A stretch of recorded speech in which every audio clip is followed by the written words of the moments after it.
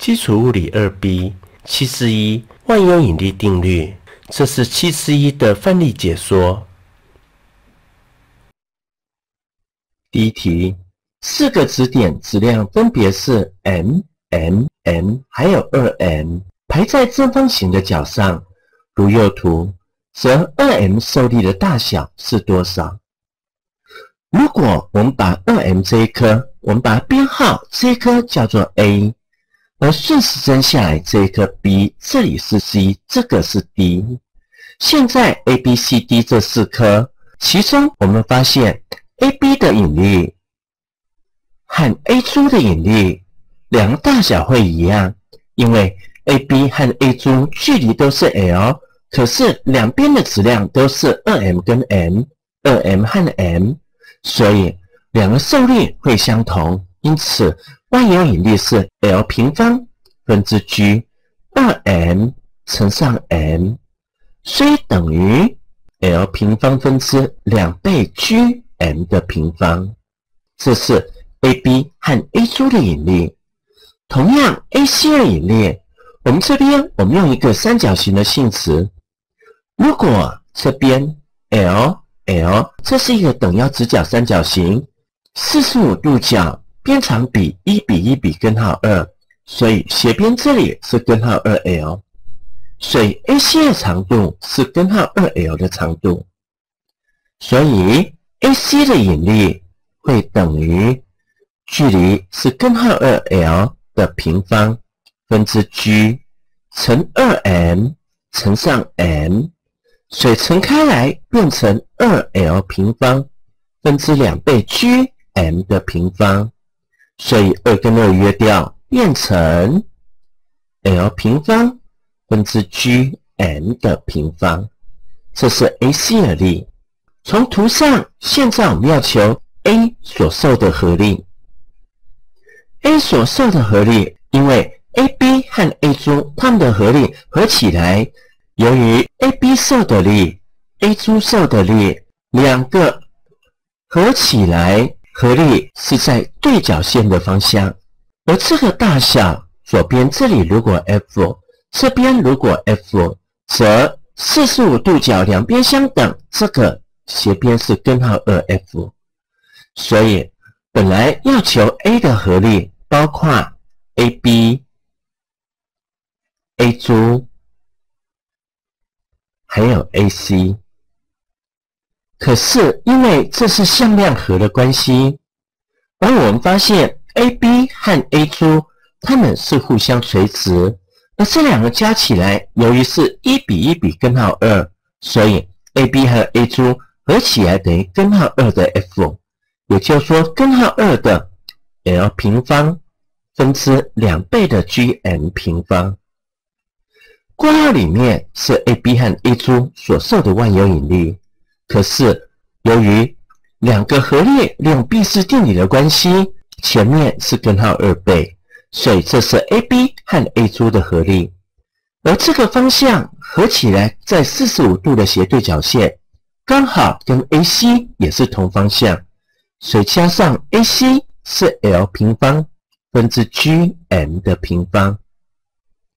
所以整个加起来就等于分母 L 平方。分子因为都有 Gm 平方，把 Gm 平方提出来，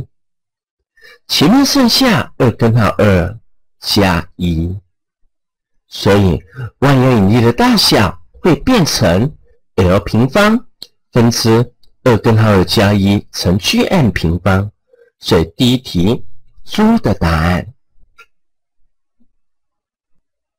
第二题，已知两个实心圆球直径分别是六 r 跟二 r，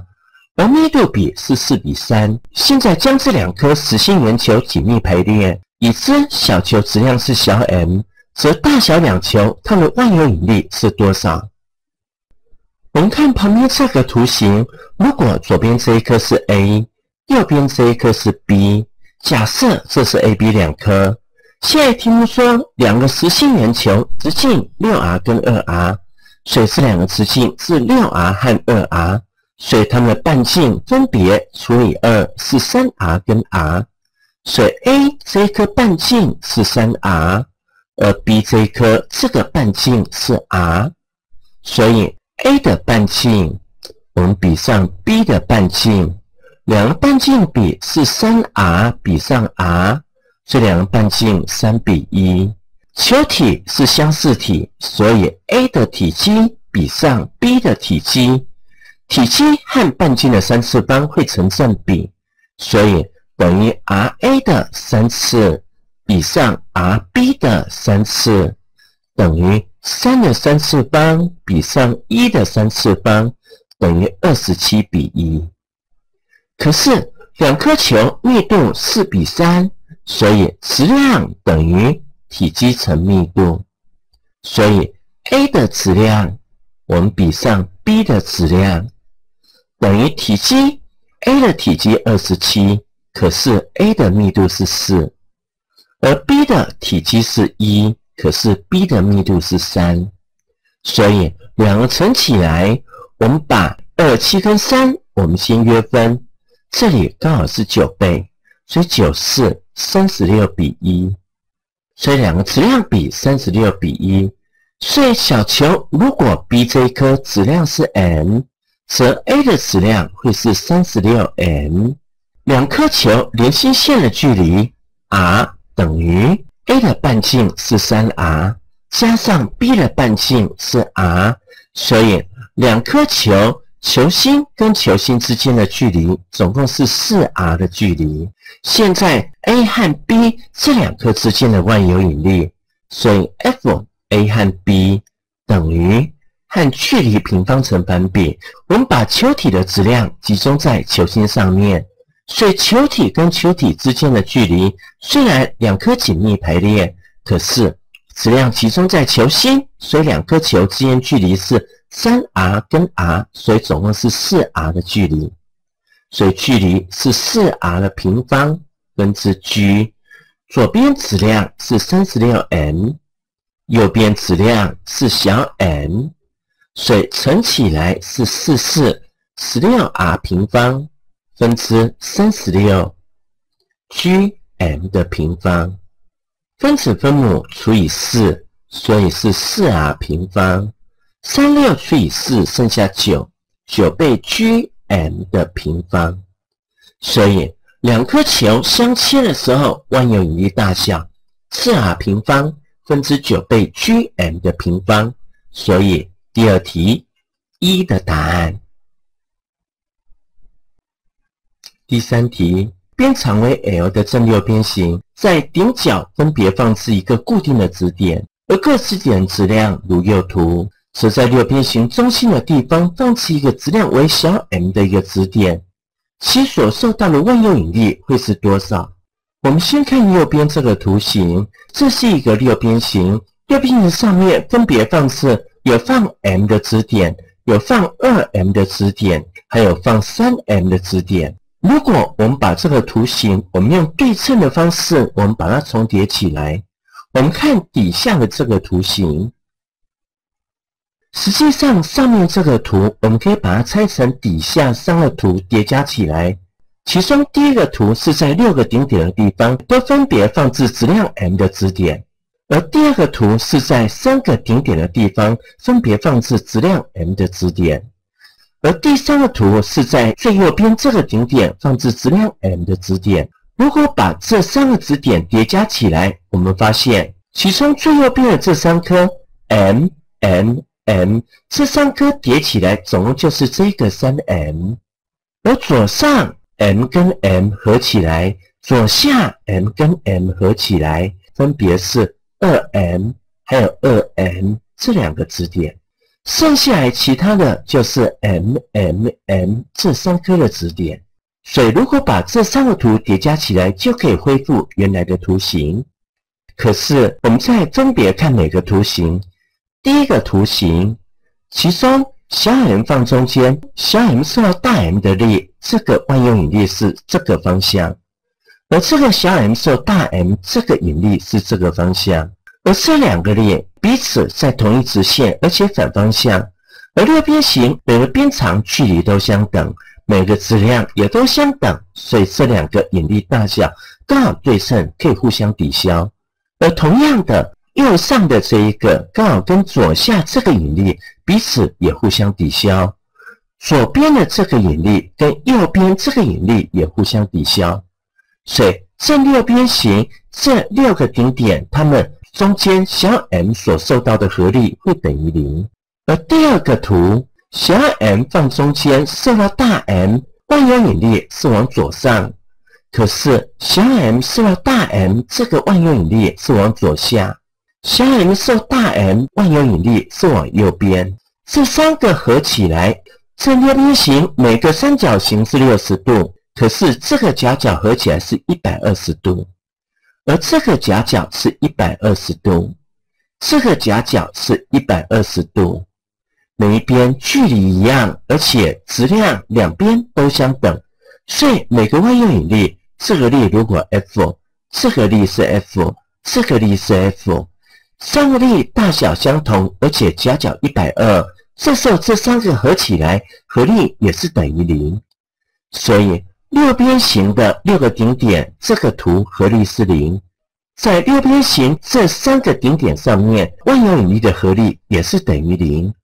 所以第一个图的合力是零，第二个图的合力是零。所以。只剩下第三个图，小 m 跟大 M 之间有万有引力存在，而中间距离因为边长是 l，彼此之间这个距离也是 l。真正的万有引力合起来就变成剩下了这个图是距离 l，所以万有引力 l 平方分之 g，一个大 M 一个小 m，所以乘起来是大 M 乘上小 m。所以，我们把这三个图形叠加起来，恢复成原来的图形，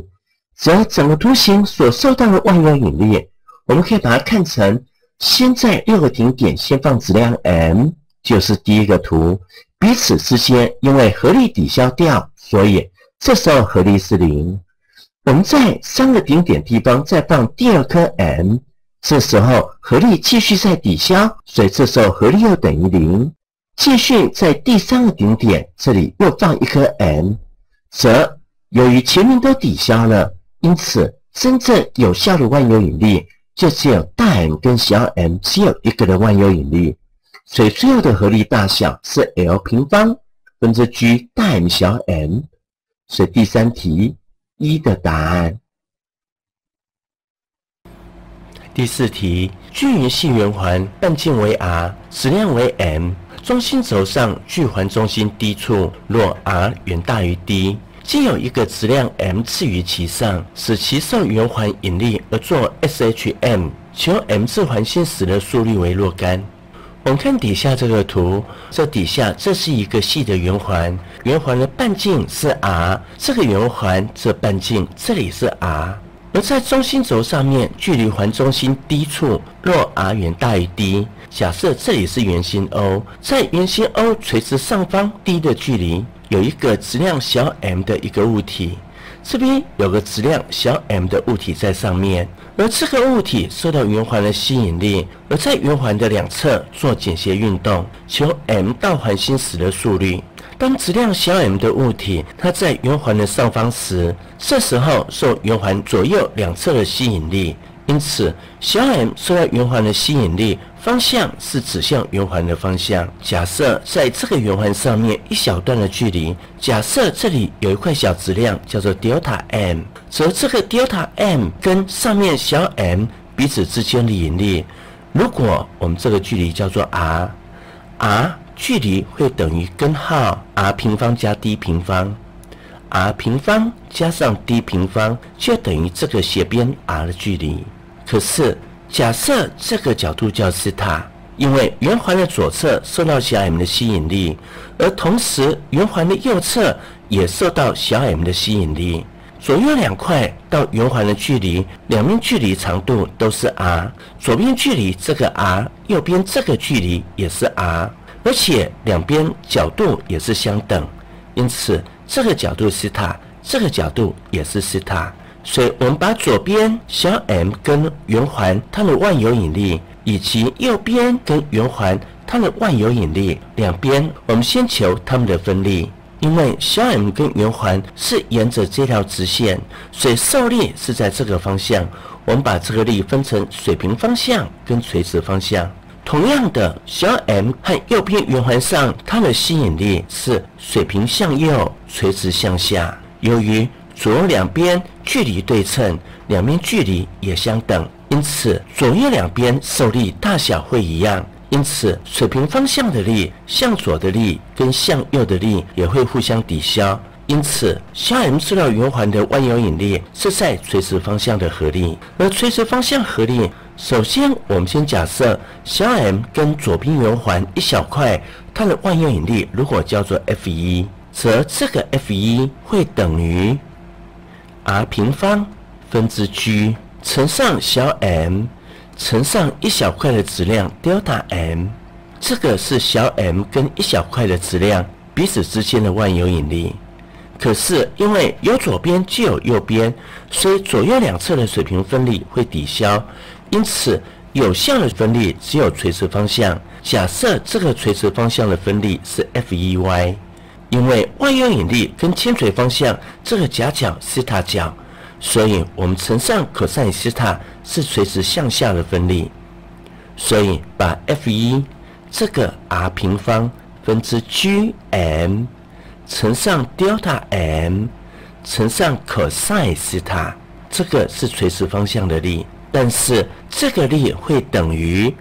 r 平方分之 G M 乘上 delta M，所以可赛西塔是把邻边比斜边，所以。邻边是 d，斜边是 r，因此就变成了 r 的三次方分之 g m 乘 delta m 再乘上 d，这是小 m 跟左边一小块它们在垂直方向的分力。然而，只要有左边就有右边，可以把水平方向抵消；有前面就有后面，可以把水平方向力抵消。因此，在圆环上分别和小 m 的万有引力有效的只有垂直方向。所以，垂直方向的力 Fy，我们把所有的力 Fey 把它加起来，因此所有的合力一起相加，就等于我们求整个总和。R 的三次方分之 g 小 m 乘 delta m 乘以 d，然而对 F 一所有力的总和，因为每小块的距离都是 r，所以 r 三方这是一个定值，g 乘上小 m 还有 d 这也是一个定值，因此全部的总和就等于 delta m，圆环上面每一小块质量全部加起来的总和。所以等于 r 三次方分之 g m d 乘上所有 delta m 的总和，就等于全部整个圆环的总质量。而圆环总质量是大 M，所以乘上大 M，这个是铅垂方向的力。所以我们发现小 m 受到圆环的作用力 Fy 等于 r 三次方分之 g 小 m 大 M 乘以 d。因此，我们看到了 Fy 小 m 所受的力，它是跟 d 距离是成正比，而且当小 m 在上面的时候，所受的力方向是朝下；小 m 在底下的时候，所受的力方向是朝上。因此，表示小 m 受到整个圆环作用力是符合简谐运动的形式，所以这个力等于 k 乘上简谐运动的距离 d。所以小 m 是在圆环的上下方做简谐运动，其中这个 k 等于 r 三次方分之 g 小 m 乘以大 M，所以小 m 振动一次的周期 t 等于二拍根号 k 分之 m，我们把 k 值代入，所以等于二拍根号 k 把它换成。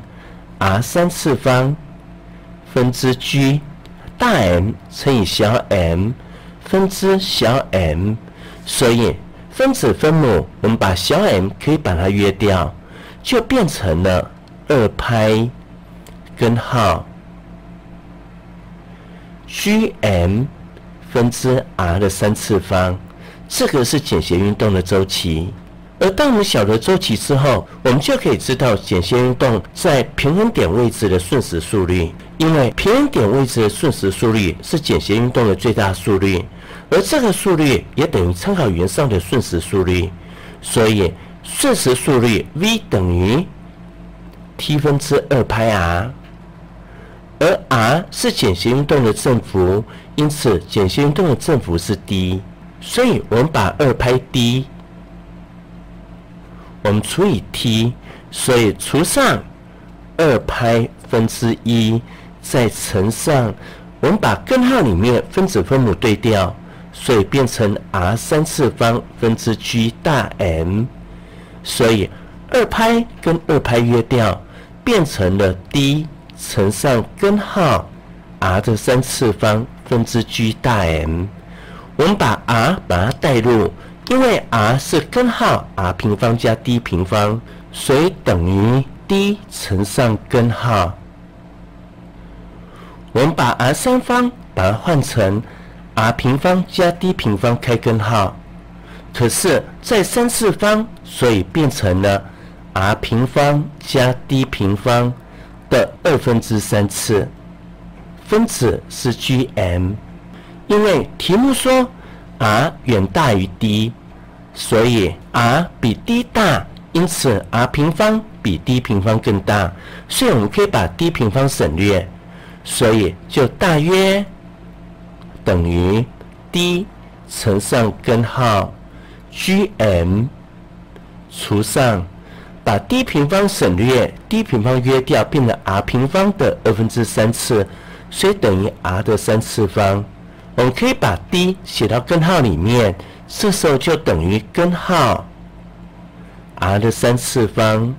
分之 g m d 平方，这是小 m 在圆环的中心它最大的速率，所以小 m 在环心时的瞬时速率会等于根号 r 三次方分之 g m 乘以 d 平方。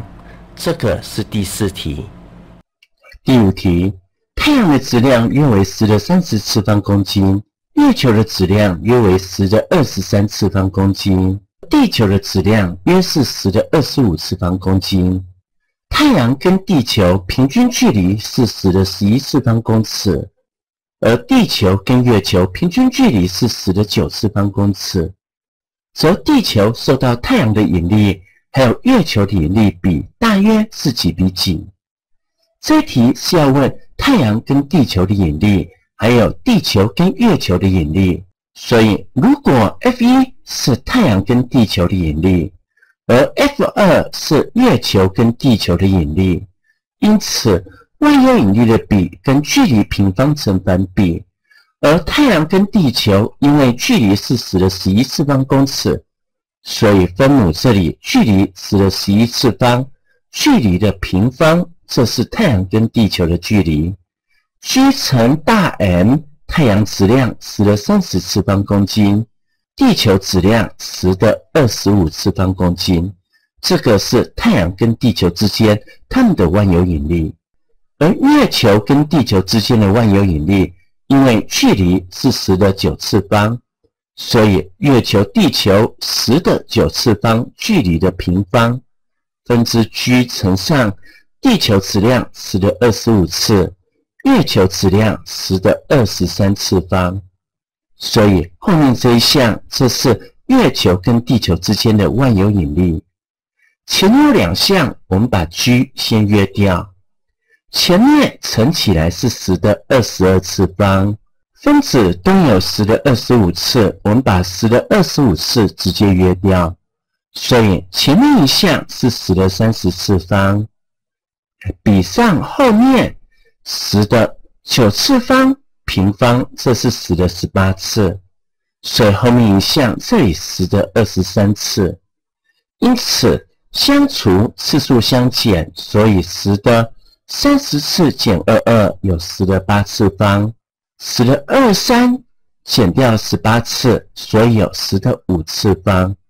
所以两个前后相比都减掉十的五次。所以剩下十的三次方比一，所以引力比十的三次方比一，所以第五题 A 的答案。第六题，下列何者为万有引力引力常数的单位？因为牛顿的万有引力 F 等于 r 平方分之 G 乘大 M 乘以小 m，这个是牛顿的万有引力定律。因为题目要求引力常数，因此我们先移项，把 r 平方乘过来，于是 F 乘以 r 平方就等于 G 乘大 M 乘以小 m。所以 G 引力常数就等于把大 M 小 m 移下来，分之 F 乘上 r 的平方，这个是 G 值。所以 G 的单位我们可以写成 F 是牛顿，乘上 r 是公尺，所以公尺的平方除以大 M 质量公斤，小 m 质量公斤，所以公斤乘公斤。分母是公斤的平方，所以引力常数我们可以表示成牛顿乘公尺平方除以公斤平方，这个是牛顿，这是引力常数的表示方式。所以第一题猪的答案。然而，除了用牛顿来表示之外，我们也可以把牛顿再换成基本单位，因为根据牛顿的运动定律，F 等于 ma。所谓一牛顿是质量一公斤乘上加速度是一个公尺除以秒平方，因此所谓的牛顿是公斤乘公尺除以秒平方，这个是牛顿。而引力常数，我们把牛顿带入，这时候 G 等于牛顿换成公斤乘公尺。除以秒平方，后面我们再乘上公尺的平方除以公斤的平方，前后化简，我们就得到了。因为公斤和公斤可以约掉一次，而公尺和公尺平方乘起来是公尺的三次方，除上公斤，再乘以秒平方，这个是引力常数 G 值。所以 G 也可以写成公尺的三次方除上公斤乘以秒平方，这个是用基本单位来表示。这是第一题。第二题，在银河系中，星座绕银河中心轨道半径的立方和周期的平方比值是 k，而万有引力常数为 G，则银河系的总质量为若干。因为题目说星座绕银河系中心的轨道半径。它的立方和周期的平方比值是 k，也就是如果假设星座跟银河系的轨道半径是 r，则 r 的三次方和周期 t 的平方这个比值等于 k。可是星座跟银河系之间彼此隔着距离 r，它们之间的万有引力这时候等于 r 平方分之 G。我们假设银河系质量是大 M，而星座的质量是小 m，因此把大 M 乘小 m 是把银河系的质量乘以星座的质量。可是星座受到银河系的引力，这时候星座绕着银河系做圆周运动，而圆周运动等于 m 乘上周期是 t，于是 t 平方分之四派平方乘以 r。这是星座绕着银河系借着万有引力做圆周运动的向心力，因此左右两边我们把 m 把它约掉，r 平方乘上来，这时候交叉相乘，g m 乘上 t 平方就等于四派平方乘上 r 的一次跟两次合起来变成 r 的三次方，所以质量大 M 就等于。G_T 平方分之四派平方 r 三次方，可是 r 三次方除以 t 平方，这个等于 k，所以我们就把它表示成 G 分之四派平方，因为后面这一项 r 三方除以 t 平方，这个数值等于 k，所以银河系的总质量等于。G 分之四派平方乘以 k，所以 G 分之四派平方乘以 k，因此第二题 B 的答案。第七题，假设太阳系中所有行星轨道都是圆形，今天如果发现有个新行星，地球质量是这个行星的八倍，而地球半径是这个行星的四倍，地球绕太阳的平均轨道长度是这个行星的两倍。则太阳对地球的万有引力是太阳对这个行星万有引力的多少倍？现在题目讲，如果中心这里是太阳，假设太阳质量大 M，我们发现有颗新行星，可是地球绕太阳的平均轨道长度是这个行星的两倍，所以地球绕太阳的轨道长度比较大，行星绕太阳的轨道长度比较小，所以地球在外面，而行星在里面，因此。外面的这个轨道半径，这是地球的；里面这个是行星的。地球的轨道半径还有行星的轨道半径，题目说地球的轨道半径是行星的轨道半径的两倍，所以如果行星的半径是一倍一，则地球的轨道半径是二，它是两倍，而地球的半径是行星半径的四倍，所以如果这个是地球。地球行星比较小颗，地球质量，因为地球半径是行星半径的四倍，所以行星半径如果小 r，则地球半径会是四 r，这样子才表示它们是四倍。而地球质量是行星八倍，所以如果行星质量是一倍小 m，则地球质量是八倍，所以是八倍小 m。现在要问 F。太阳跟地球之间的引力是 F 太阳跟行星之间引力的多少倍？实际上，在刚刚所有数字里面，行星的半径还有地球的半径这个数字是用不到的，因为万有引力是跟距离平方成反比，而所谓的距离是指星球到太阳轨道半径的长度，所以地球的轨道半径是行星轨道半径两倍。所以，地球到太阳距离如果是两倍的平方，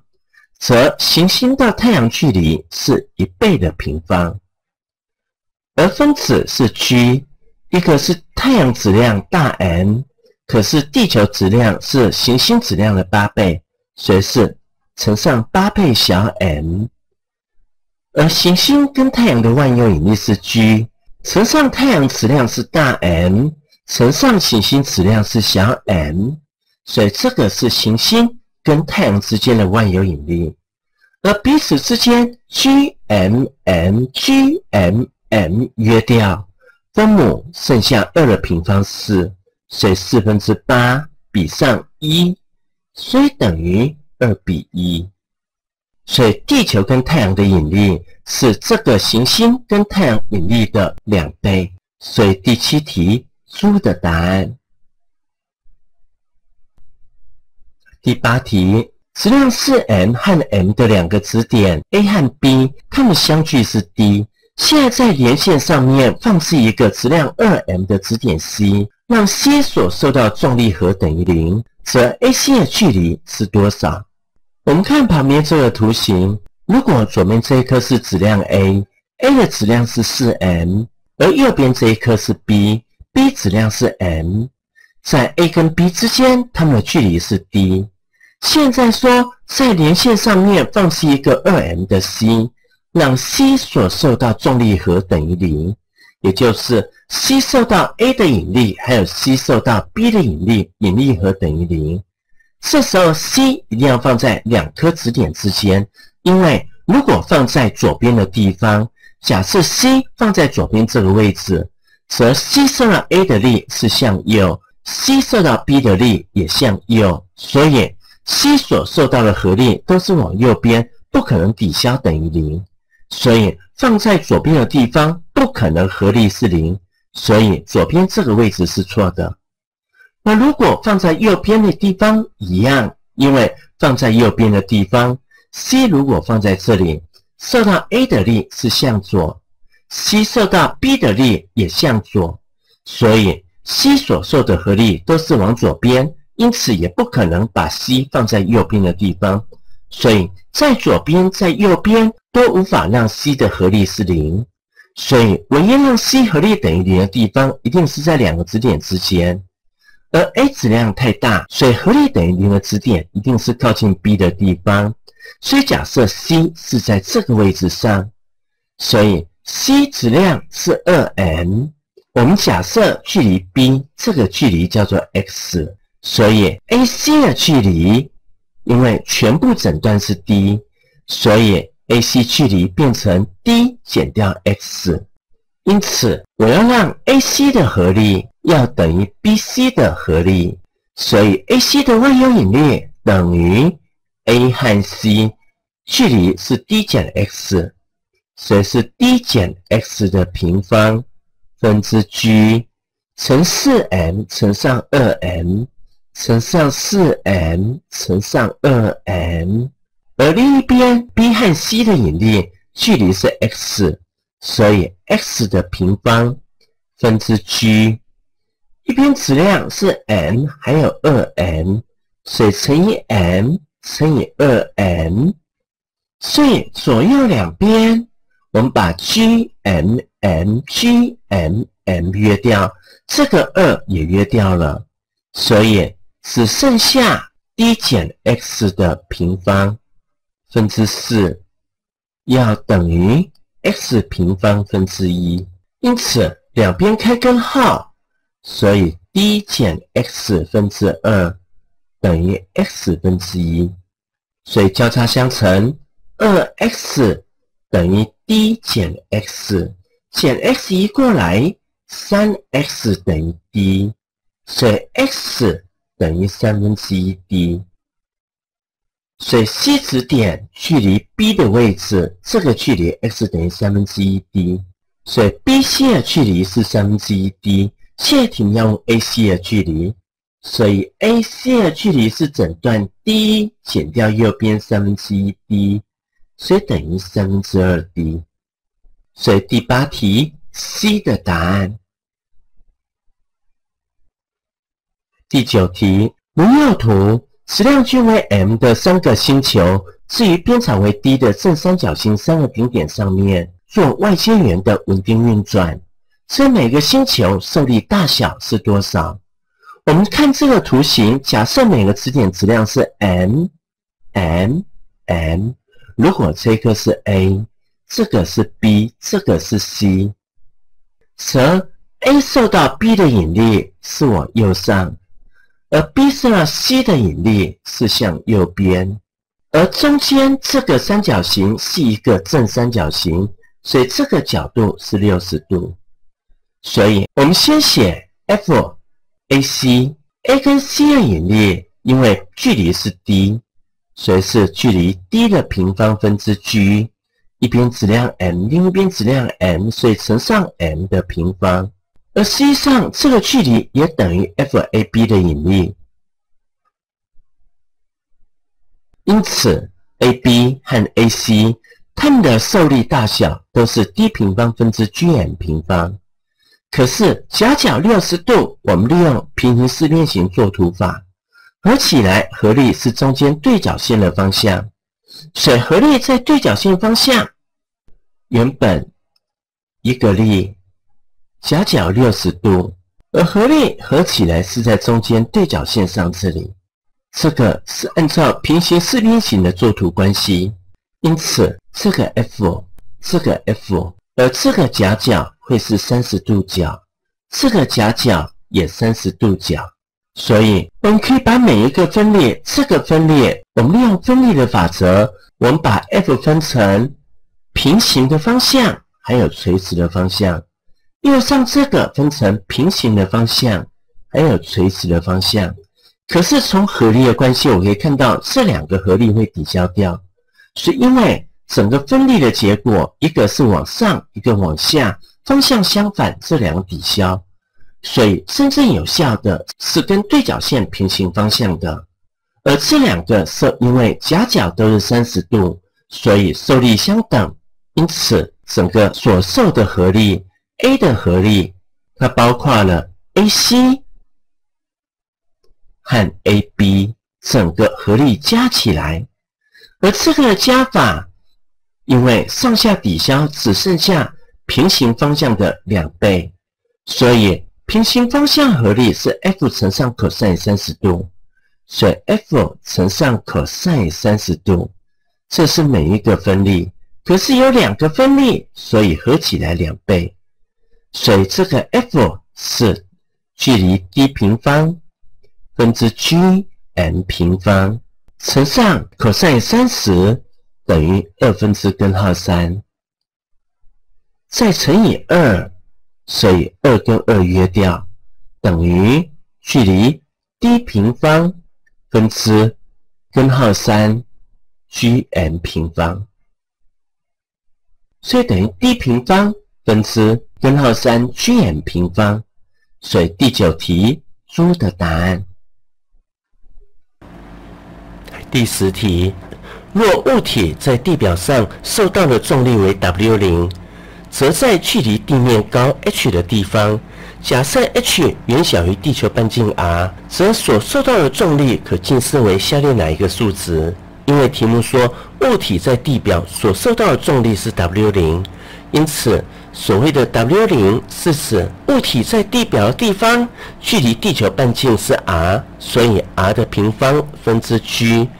如果地球质量大 M，而物体的质量小 m，这是物体跟地球之间它们的万有引力，而万有引力就形成了物体的重量，所以物体受重力 W 零。这个是前面的第一句话，但是先把物体放到距离地面高度 h，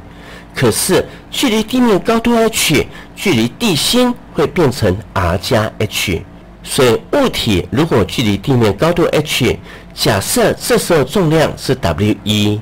则 w 一等于距离 r 加 h 的平方分之 g 乘大 M 乘以小 m。这是物体在距离地面 h 的地方，它所受的重力。因此，题目要用 W 零来表示，所以我们把前后两个式子，左边除以左边，右边除以右边，所以 W 零比上 W 一。本来 W 零是 r 平方分之 g 乘大 M 乘以小 m，而 W 一是。r 加 h 的平方分之 g 乘大 M 乘以小 m，所以我们发现分子一样约掉，变成了 r 平方分之 r 加 h 括号的平方。我们把分子分母，我们把它写成 r 分之 r 加 h 这个的平方，所以等于。分子分母除以 r 得到一加上 r 加 h 的平方，所以物体在空中的重量 W 一就等于本来是 W 零除上一加 r 分之 h 的平方，所以我们平方展开之后取前两项，所以变成重量 W 零除上一加两倍的。r 分之 h，因此等于当 x 很小的时候，一加 x 分之一可以表示成一减 x，所以同样的把 W 零除上一加 r 分之二 h，因为 h 远小于 r，所以后面这一项数值很小，所以我们可以写成重量 W 零乘上一减掉 r 分之二 h。所以 W 一可以表示成重力 W 零乘上一减 r 分之二 h，而这个 r 是地球半径 r 一，所以重力 W 一我们可以写成在地表上的重量 W 零乘上一减，这是在地表的地球半径 r 一分之二 h，所以物体在距离地面 h 的地方。它的重力是 W 零乘上一减 r 一分之二 h，所以第十题猪的答案。十一题，李宁在地面发射火箭，当火箭在上空高度 h 时，万有引力为在海平面上时的十六分之一倍。若地球半径为 r，则 h 等于多少？我们看旁边这个图，如果这是一颗地球，假设地球半径这个是 r，如果火箭在地面上，假设质量是 m，这时候重量是 w。而现在发射到上空 h 的地方，这时候重量是地面的十六分之一倍，所以在空中时，它重量是十六分之一 w。现在要问这个 h 的高度是多少？因为重量比是万有引力造成的，所以万有引力 F 一个是在地面上 r 的地方，一个是在空中 h 的地方，两个的万有引力 F 等于。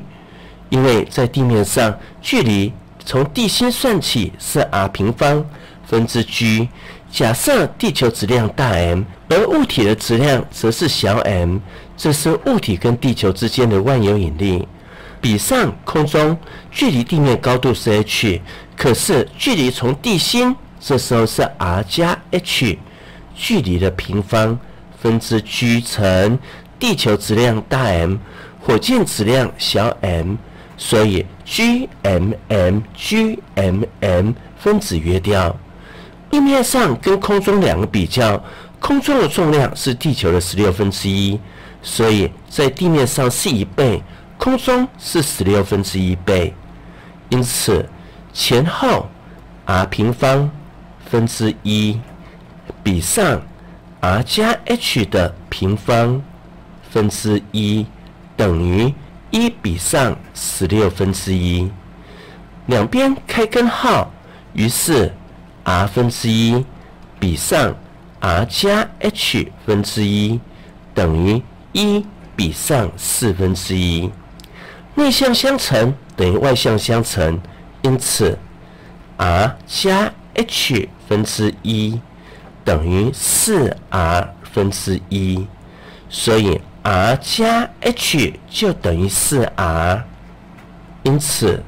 h 等于四 r 减掉 r 等于三 r，所以距离地面高度是三 r 的高度，因此第一题 C 的答案。第二题，两质量相同的质点，距离为 r 时，两者之间的万有引力是 F。若将两者之间距离缩短为原来的一半时，两者之间的万有引力会变成多少？我们看底下这个图，题目说两质量相同的质点，左边跟右边这两个质点质量一样，所以假设左边质量 m，右边这个质量是 m，彼此之间距离假设是 r，这时候它们之间有万有引力，万有引力是 F。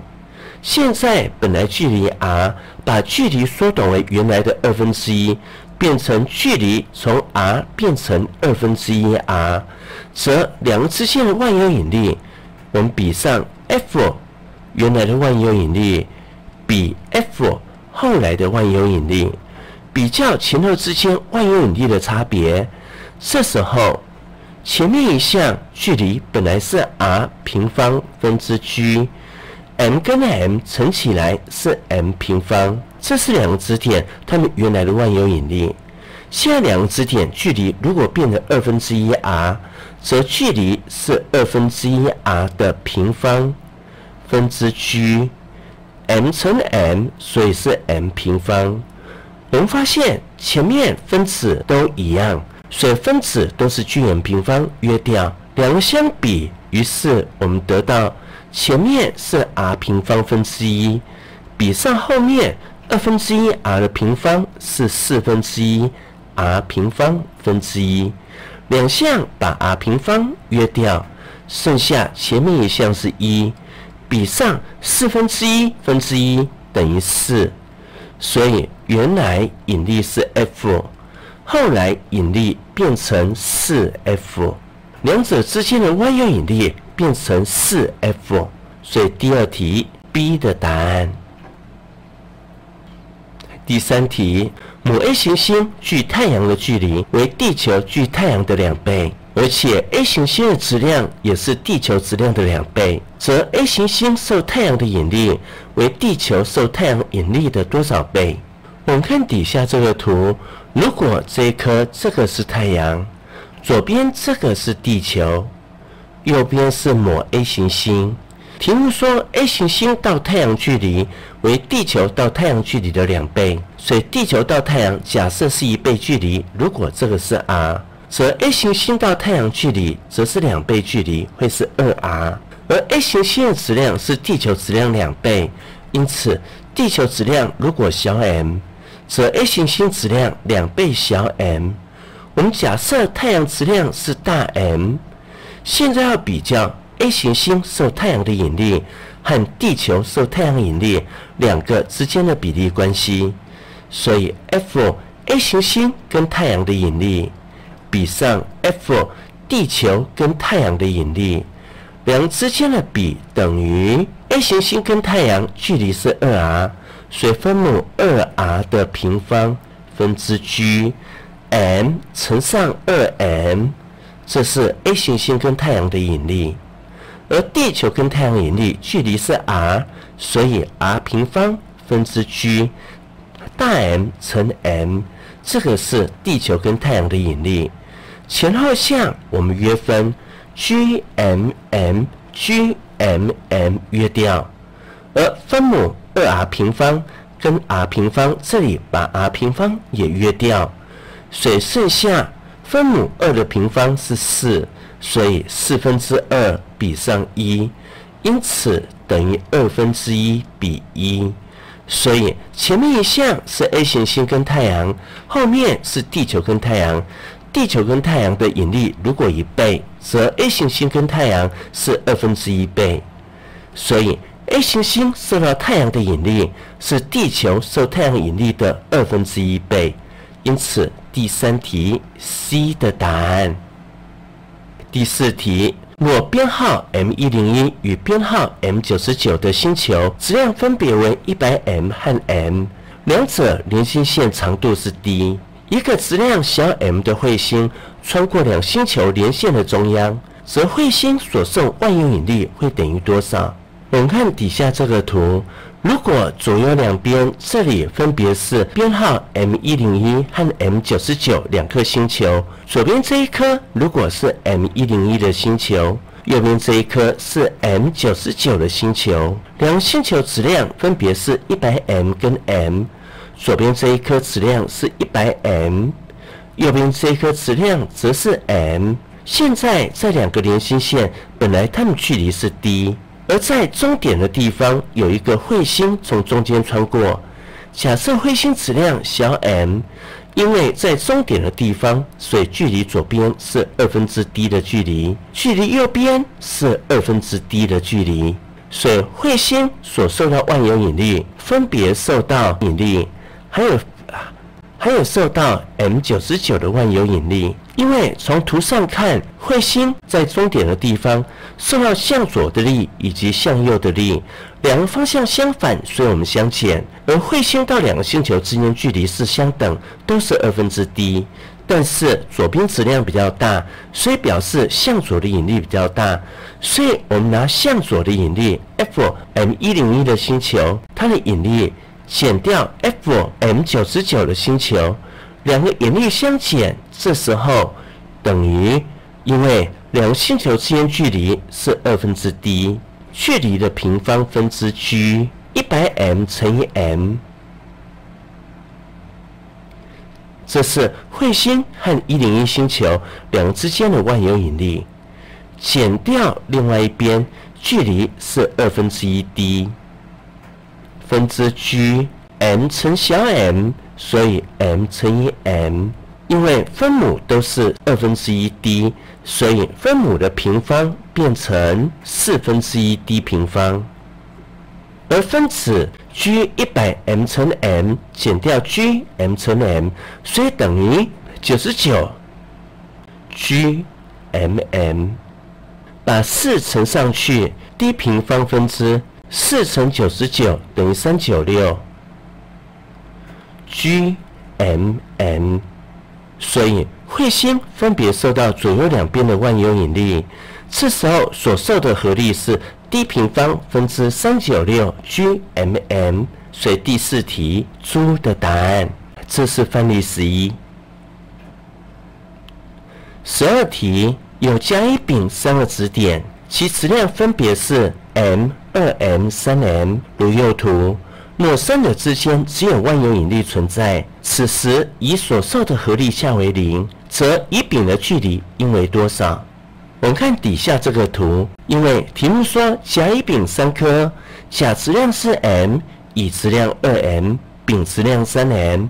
而甲乙之间距离是 r。现在乙丙的距离不知道，假设乙丙的距离这边是 x，可是甲乙之间的万有引力是分别相向，乙受甲的力是向左，乙受丙的力则是向右。而此时乙所受合力等于零，表示甲乙的万有引力会等于乙丙的万有引力。甲乙之间万有引力是 r 平方分之 g，甲质量 m，乙质量二 m，这是甲乙的万有引力，等于乙丙的万有引力。乙丙的距离假设是 x，所以 x 的平方分之 g，二 m 乘以三 m，这是乙丙的万有引力。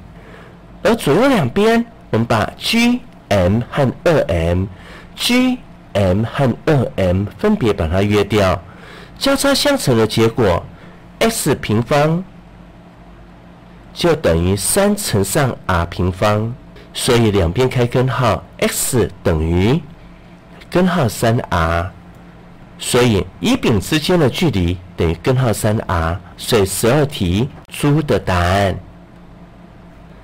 十三题。设地球半径为 r，一个火箭由地面垂直升空，当其剩余质量为出发时的二分之一时，其重量变成出发时的八分之一，则此时则此时火箭距离地面的高度是多少？我们看底下这个图，如果这是一颗地球，地球质量我们假设是大 M，而地球半径这个是 r。题目说有一个火箭从地面垂直升空。在地面上，火箭假设质量是小 m，这时候如果重量是 w，结果火箭升空以后，因为火箭升空的过程消耗燃料，因此当升空以后，火箭剩余的质量只剩下出发时的二分之一，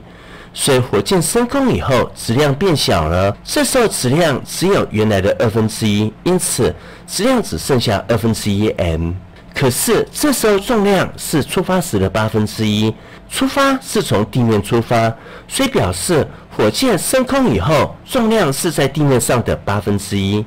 所以地面重量 W 升空以后重量是八分之一 W，因此火箭在空中的重量跟在地面上重量一个是八分之一 W，一个是 W。重量是万有引力造成，所以火箭在空中的万有引力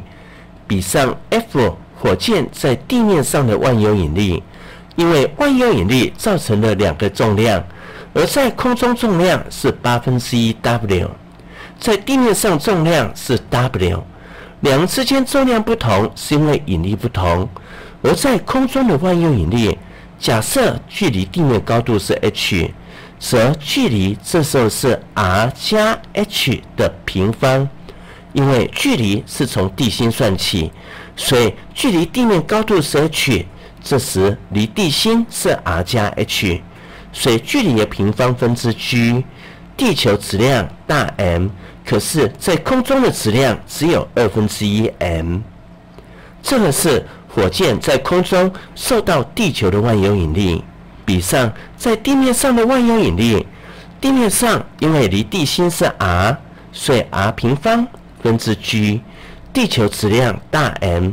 而地面上火箭质量则是小 m，因此前后两个我们约分八分之一 W 跟 W，我们把 W 约掉，所以第一项八分之一，第二项是一，等于前后两项约分。G M M G M M 约掉，分子这里有二分之一，把这个二写到分母来，所以两倍的 r 加 h 的平方分之一分之 r 平方分之一，剩下这样，结果内项相乘等于外项相乘，因此两倍的 r 加 h 的平方分之一等于八 r 平方分之一。一跟八约掉，剩下四，所以四 r 平方就等于 r 加 h 的平方。两边开根号，所以左边剩下二 r，右边变成 r 加 h，把 r 移过去，因此 h 等于二 r 减掉 r，所以剩下 r，所以 h 等于 r。因此，火箭距离地面高度等于 r，所以十三题 B 的答案。十四题，假设在太阳系中，所有行星轨道皆是圆形轨道，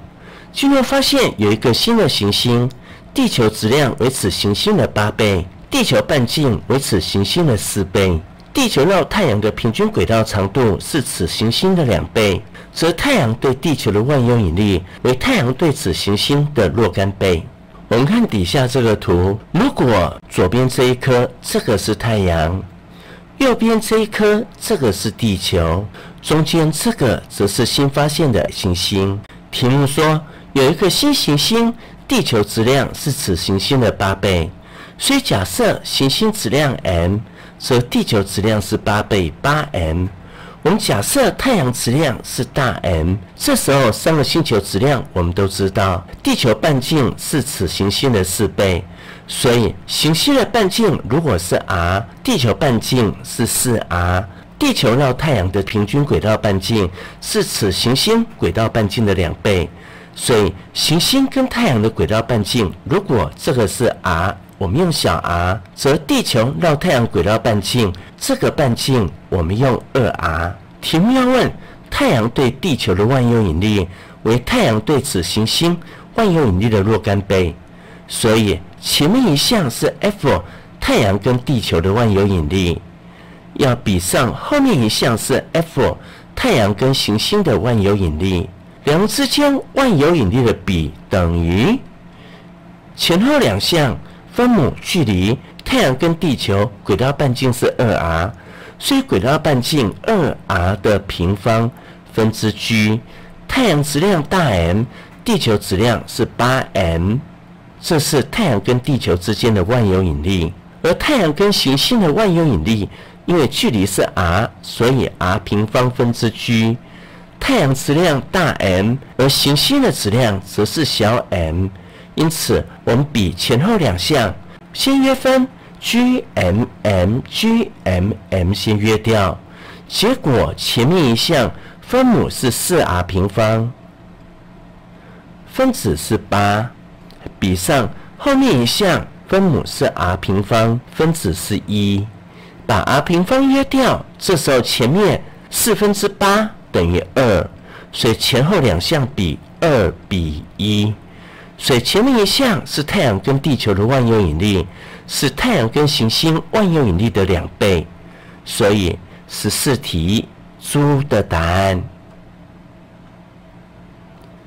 十五题，太空中有两个星球，其质量分别是大 M 和九 M，其间距离为 d。经有一艘质量为小 m 的太空船在两星球连心线上航行，若不计其他天体的影响。则第一小题，太空船在两星球终点的地方所受万有引力的量值是多少？我们先看旁边这个图，题目说有两颗星球，质量分别是 m 跟九 m。我们假设右边这一颗是 A 星球，质量是 m；左边这一颗 B 星球，质量九 m。两个星球之间连接线的距离，假设距离是 d。现有一艘太空船，质量是小 m，在两连心线上航行。如果飞到终点的地方，假设终点在这个地方，当太空船飞到终点的时候，受到两星球的万有引力，就是太空船所受的重力。这时候重力的量值因为刚好在终点的地方，B 星球质量比较大，所以受 B 星球的引力会比较大。因此，第一题，太空船所受的万有引力就是太空船所受的整个合力等于太空船跟 B 星球减掉太空船跟 A 星球。因为在终点的地方，受到 B 星球的引力是向左边，而受到 A 星球的引力则是向右边。因为 A 星球质量小，所以受到 A 星球的引力比较小，所以我们把 FB 减 FA，这时候等于 FB，因为距离在终点，可是 AB 两个星球本来距离是 d，所以左边的距离这时候有二分之一 d，右边的距离到 A 星球这边距离也是二分之一 d，因此 AB 两个星球我们分母。都是二分之一 d 距离的平方分之 g，B 星球质量九 m 乘上太空船质量小 m，这是太空船跟 B 星球的万有引力，减掉太空船跟 A 星球万有引力，于是距离二分之一 d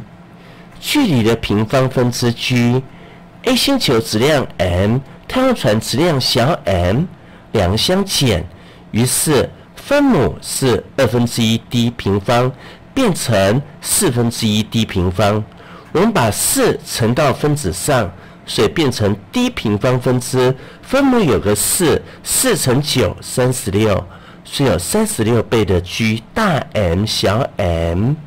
减掉后面一项一样，二分之一 d 的平方变成四分之一 d 平方，我们把 d 平方保留。分母的四分之一乘到分子，所以是四倍的 g 大 M 小 m，所以两个相减就等于 d 平方分之三十六个减掉四个，所以有三十二个 g 大 M 小 m。这是太空船跟两星球它们彼此之间的万有引力整个重力的总值，所以。太空船在终点的地方所受到重力的总值等于 d 平方分之三十二 g 大 M 小 m，这个是第一题。第二，太阳船所受总重力为零的时候，太阳船与星球 M 的距离是多少距离？因为 A、B 两个星球距离是 d，如果太空船跟 A 星球它的距离如果 x。则太空船跟 B 星球距离是 d 减 x，因为不是在终点的地方。由于 A 星球质量小，因此这时候太空船离 A 星球距离会比较近，所以太空船所受到总重力等于零，表示太空船受到 A 星球的引力会等于太空船受到 B 星球的引力。可是受到 A 星球的引力，我们假设距离是 x，所以 x 的平方分之 g，A 星球质量 m，太空船质量小 m，这是 A 星球跟太空船之间的万有引力，等于 B 星球跟太空船的万有引力，因为距离是 d 减 x，距离的平方分之 g B 星球质量九 m。而太阳船质量小 m，这是两星球之间的力。结果 g m m g m m 约掉，左右两边我们直接开根号，剩下 x 分之一等于右边 d 减 x 的平方开根号变成 d 减 x 分子九开根号变成三，水交叉相乘，一乘上 d。减 x 等于三 x，所以 d 等于四 x，因此 x 等于四分之一 d。所以汤船跟 M 星球之间的距离如果等于四分之一 d 的时候，这时太空船受到 A 星球的引力。与太空船跟 B 星球的引力刚好可以抵消掉，两个刚好相等。所以第二题，当太空船所受总重力等于零，则太空船跟 M 星球距离是四分之一 d。这是第二题。第三小题，如果太空船航行到两星球终点时，速度降为零，关掉推进器，则当时太空船的加速度量值是多少？我们刚刚在第一小题，我们求出来，当太空船航行到两星球终点时，这时候太空船受到两星球的引力 F 等于 d 平方分之三十二倍的 G 大 M 小 m。这时候，太空船把引擎的动力关掉，在这时，太空船只受到重力的作用，而太空船受重力之后，整个合力等于太空船质量小 m 乘以加速度是 a，于是太空船的加速度 a 等于我们把小 m 约掉，因此 a 等于 d 平方分之三十二 G 大 M。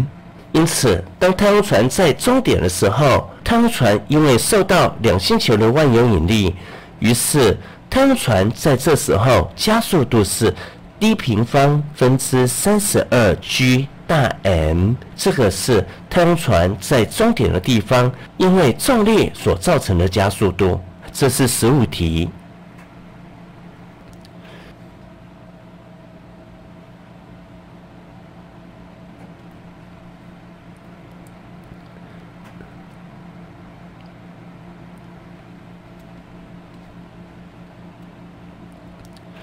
十六题，有 A、B 两大小不等的均匀球体，已知球体外一个质点 P，分别在分别与在分别在分别与 A、B 两球球心距离为 r 处，所受的引力比是十六比一，则 A、B 两星球质量则 A、B 两球质量比为若干。题目在比较。有 A、B 两颗球，这两颗球，这两颗球质量不等。假设 A 星，假设 A 球的质量如果是 ma，B 星球，而 B 球质量则是 mb，于是，于是 A 球和 P 点，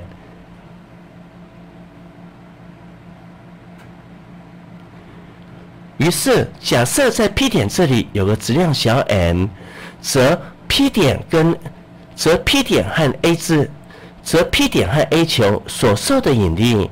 是 P 点在 B 球所受引力的十十六倍。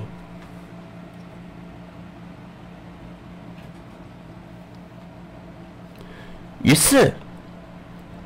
我们找 F A 点跟。于是，我们先求 F P 点跟 A 球它们的万有引力，比上 F P 点跟 B 球它们的万有引力。题目说 P 点跟 A 球还有 B 球万有引力比是十六比一，P 点跟 A 球比上 P 点跟 B 球，这个引力是十六比一，结果等于前面一项是 A 球，所以。P 点跟 A 球距离是 r，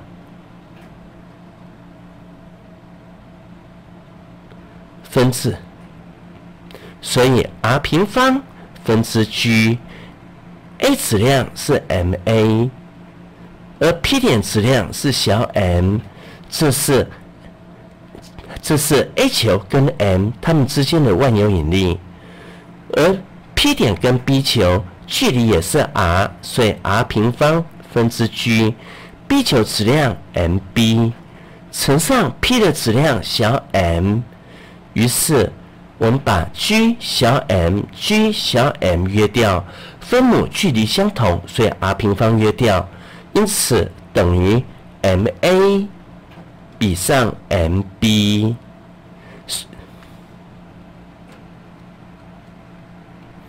比上。mb，所以 A 球质量比 B 球质量比十六比一，因此 A、B 两球质量比十六比一，这个是第一题。第二小题，已知半径为 r 的球，体积三分之四派 r 三次方，若 A、B 两球密度二比一，则其半径为多少？因为题目说 A、B 两球质量是十六比一，于是 A 球质量 ma 比比上 B 球质量 mb，A 球质量比 B 球质量等于十六比一，可是。十六比一是体积，A 球体积三分之四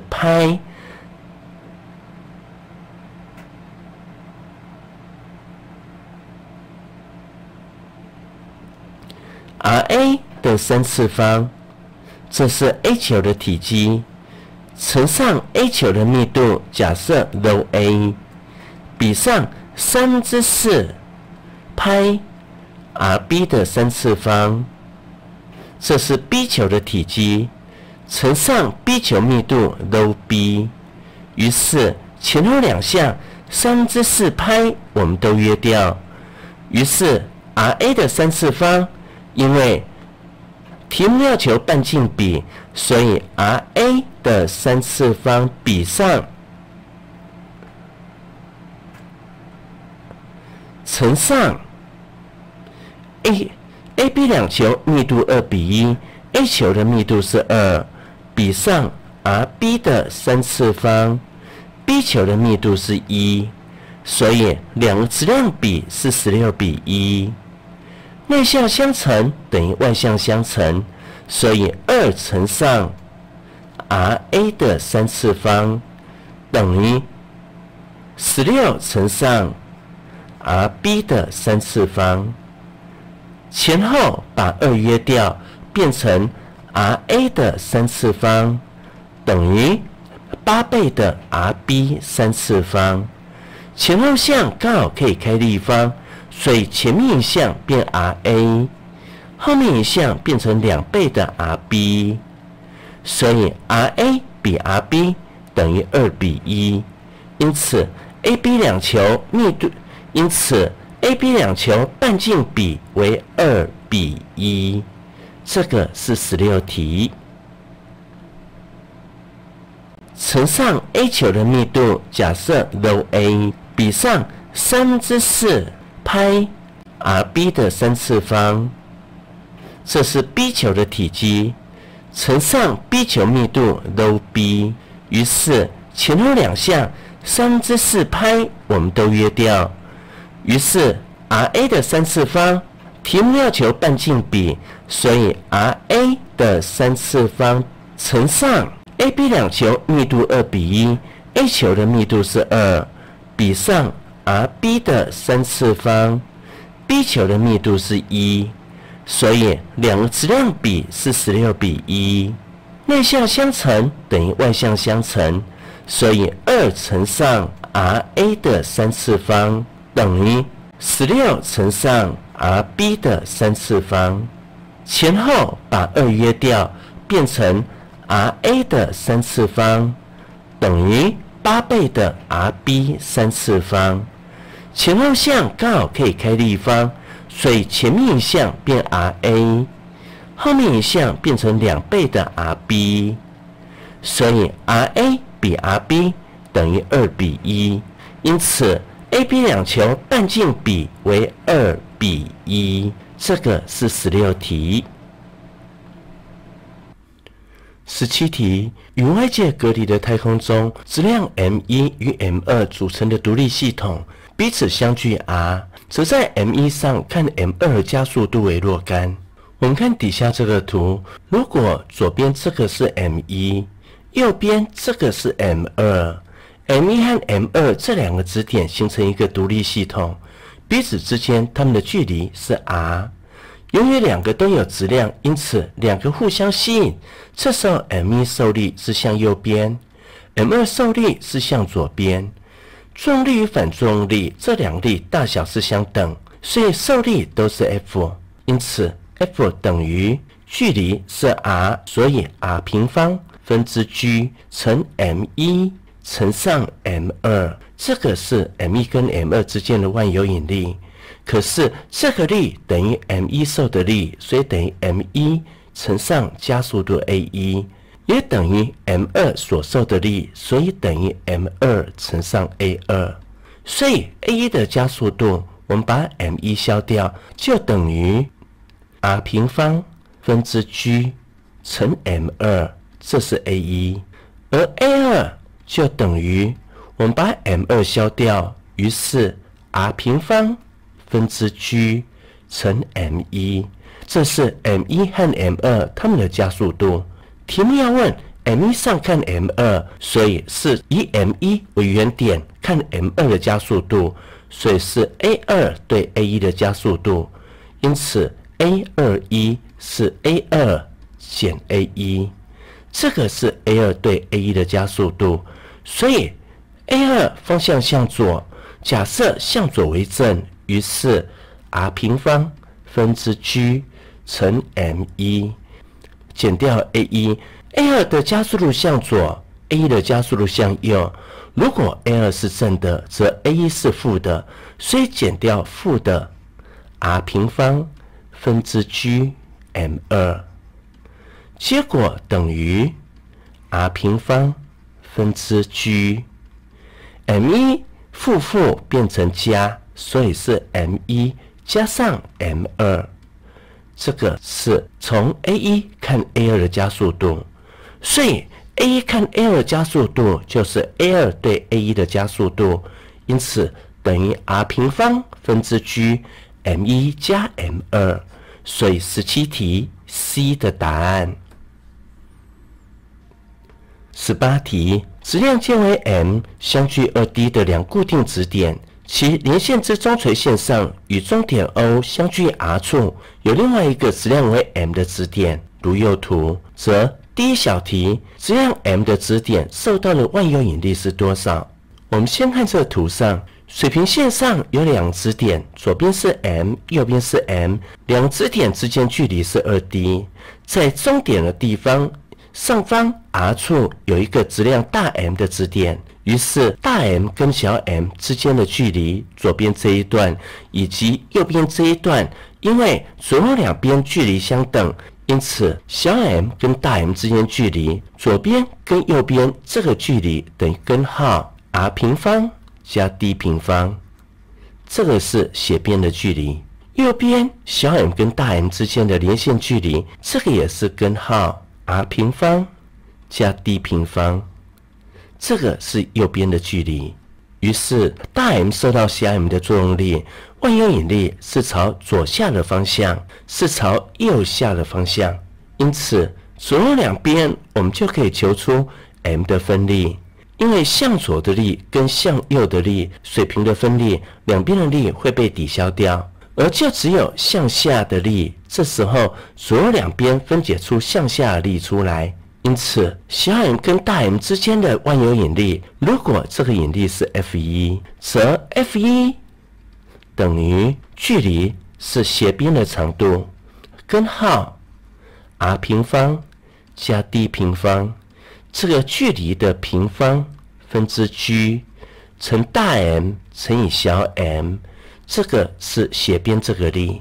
可是这个力，因为水平的力，我们发现左右两个水平分力向左跟向右会相抵消掉，只剩下向下的力是有效的分力。如果这个夹角是是它，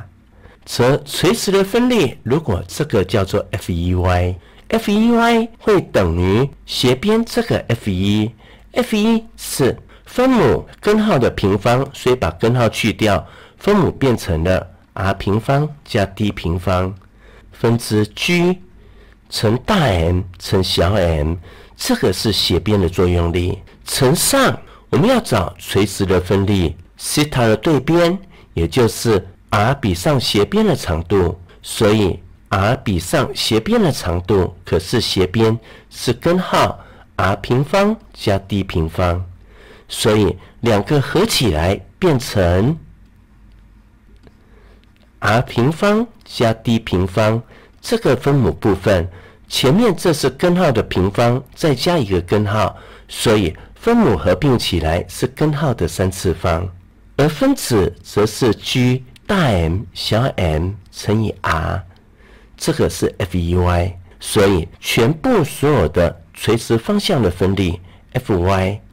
这时候是把原本的 F(e_y) 两倍，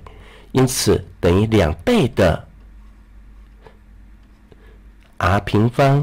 加 d 平方的二分之三次，分子是 G。大 M 小 m 乘以 r，所以大 M 的质点受到的万有引力是 r 平方加 d 平方二分之三次方，分子是两倍的 G 大 M 小 m 乘以 r，这个是第一小题。第二小题，如果 r 远大于 d 的时候，质量大 M 的质点所受到的万有引力是多少？当 r 远大于 d，r 比 d 很大的时候，这时候 d 非常小，因此原本垂直方向的分力 F 等于 r 平方加 d 平方的二分之三次方，分之两倍 G 大 M 小 m 乘以 r。当 r 很大，d 很小的时候，我们可以把 d 省略。这时候就大约等于把 d 近似变成零，于是是 r 平方的二分之三次方分之两倍的 G 大 M 小 m 乘以 r，于是就等于 r 的三次方分之两倍 G 大 M 小 m 乘以 r，分子分母把它约掉一次。这时候就等于 r 平方分之两倍的 G 大 M 小 m，所以当 d 距离很小的时候，两个质点我们可以把它看成是一个质量二 m 的质点，于是它们的万有引力变成 r 平方分之两倍的 G 大 M 小 m，这个是第二题。第三题。如果 d 远大于 r 时，则大 M 所受到的万有引力是多少？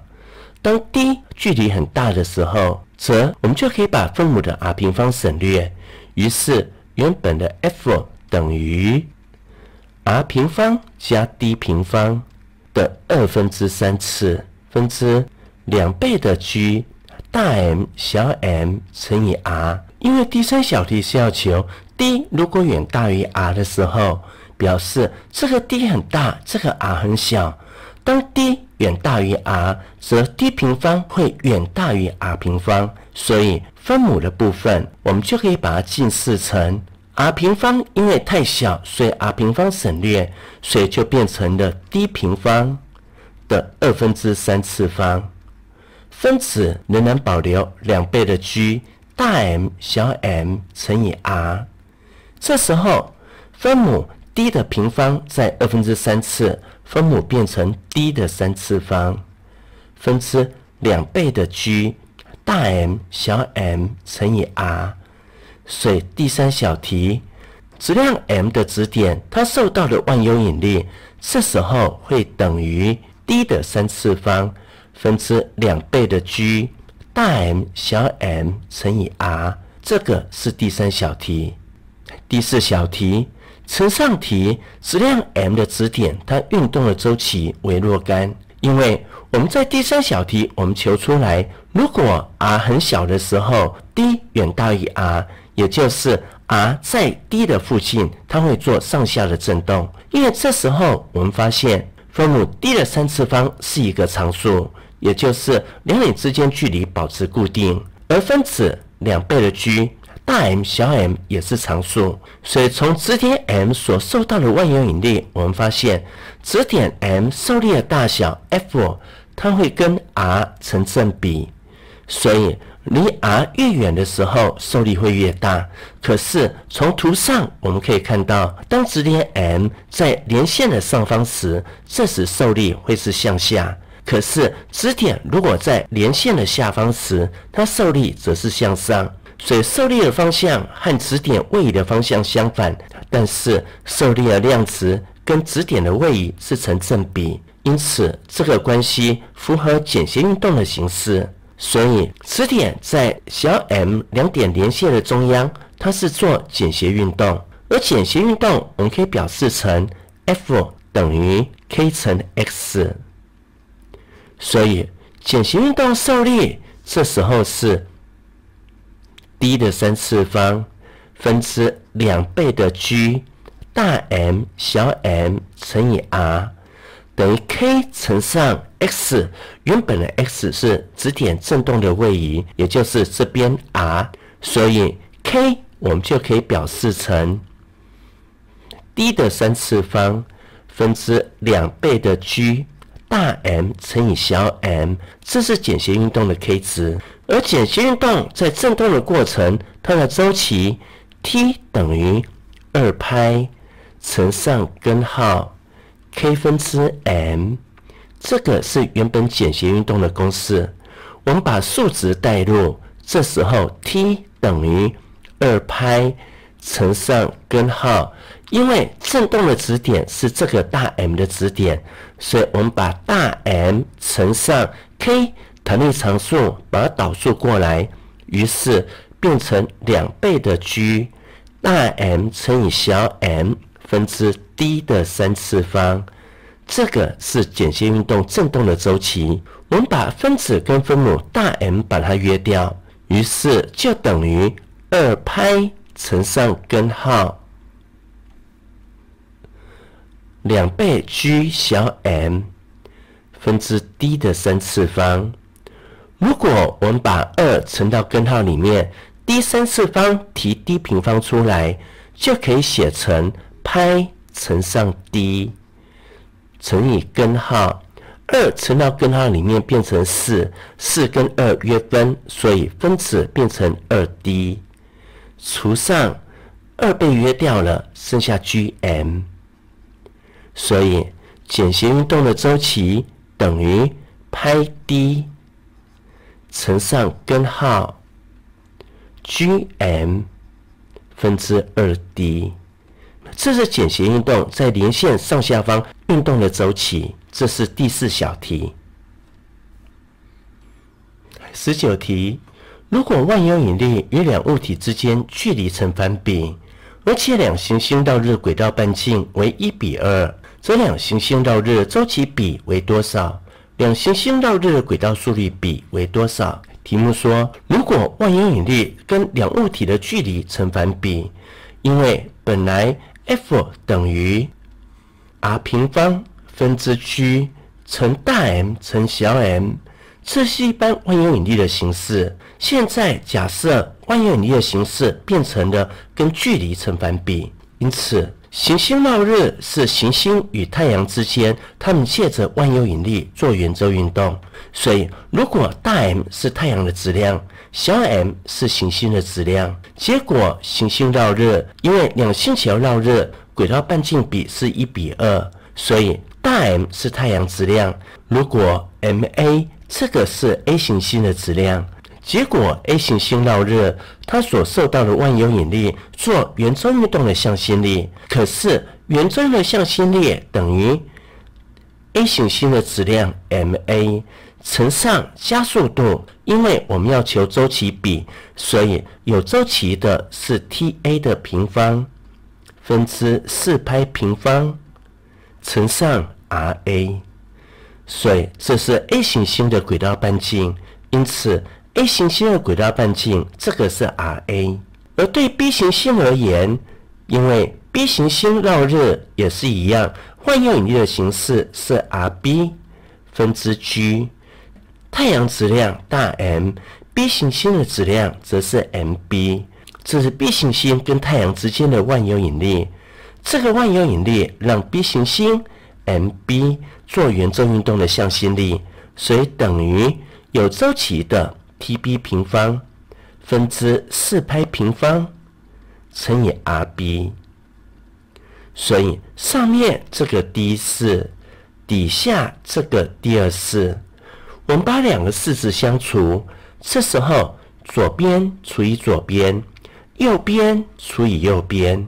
于是两边相除的结果，我们发现和 M A 可以约分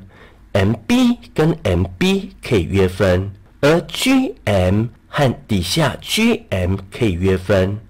四拍平方跟这个四拍平方可以约分，所以左边剩下 r a 分之一除以 r b 分之一，所以左边变成了 r a 分之 r b 等于右边内向相乘 t a 平方乘以 r b 分之 t b 平方乘以 r a，所以分子这里 t b 平方乘上 r a。交叉相乘的结果，T A 平方乘以 R B 平方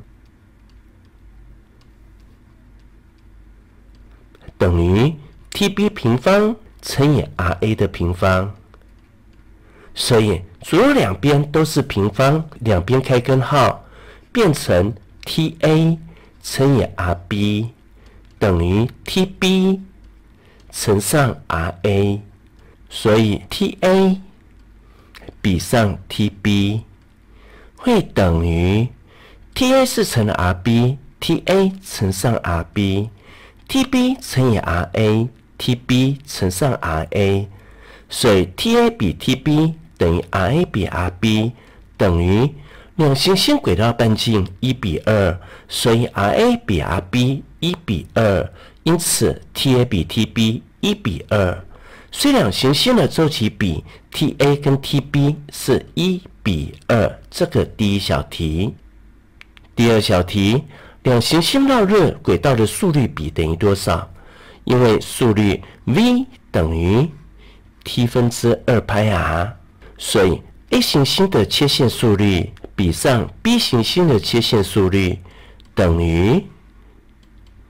因为周期分母。T A 比 T B 是一比二，所以 T A 周期一，T B 周期二，而分子二拍 r，所以前面是二拍乘以 R A，R A 半径是一，比上二拍乘以 R B，R B 半径是二，所以二拍跟二拍约掉，所以一分之一等于一，二分之二等于一，所以 A 和 B 它们的切线速率一比一。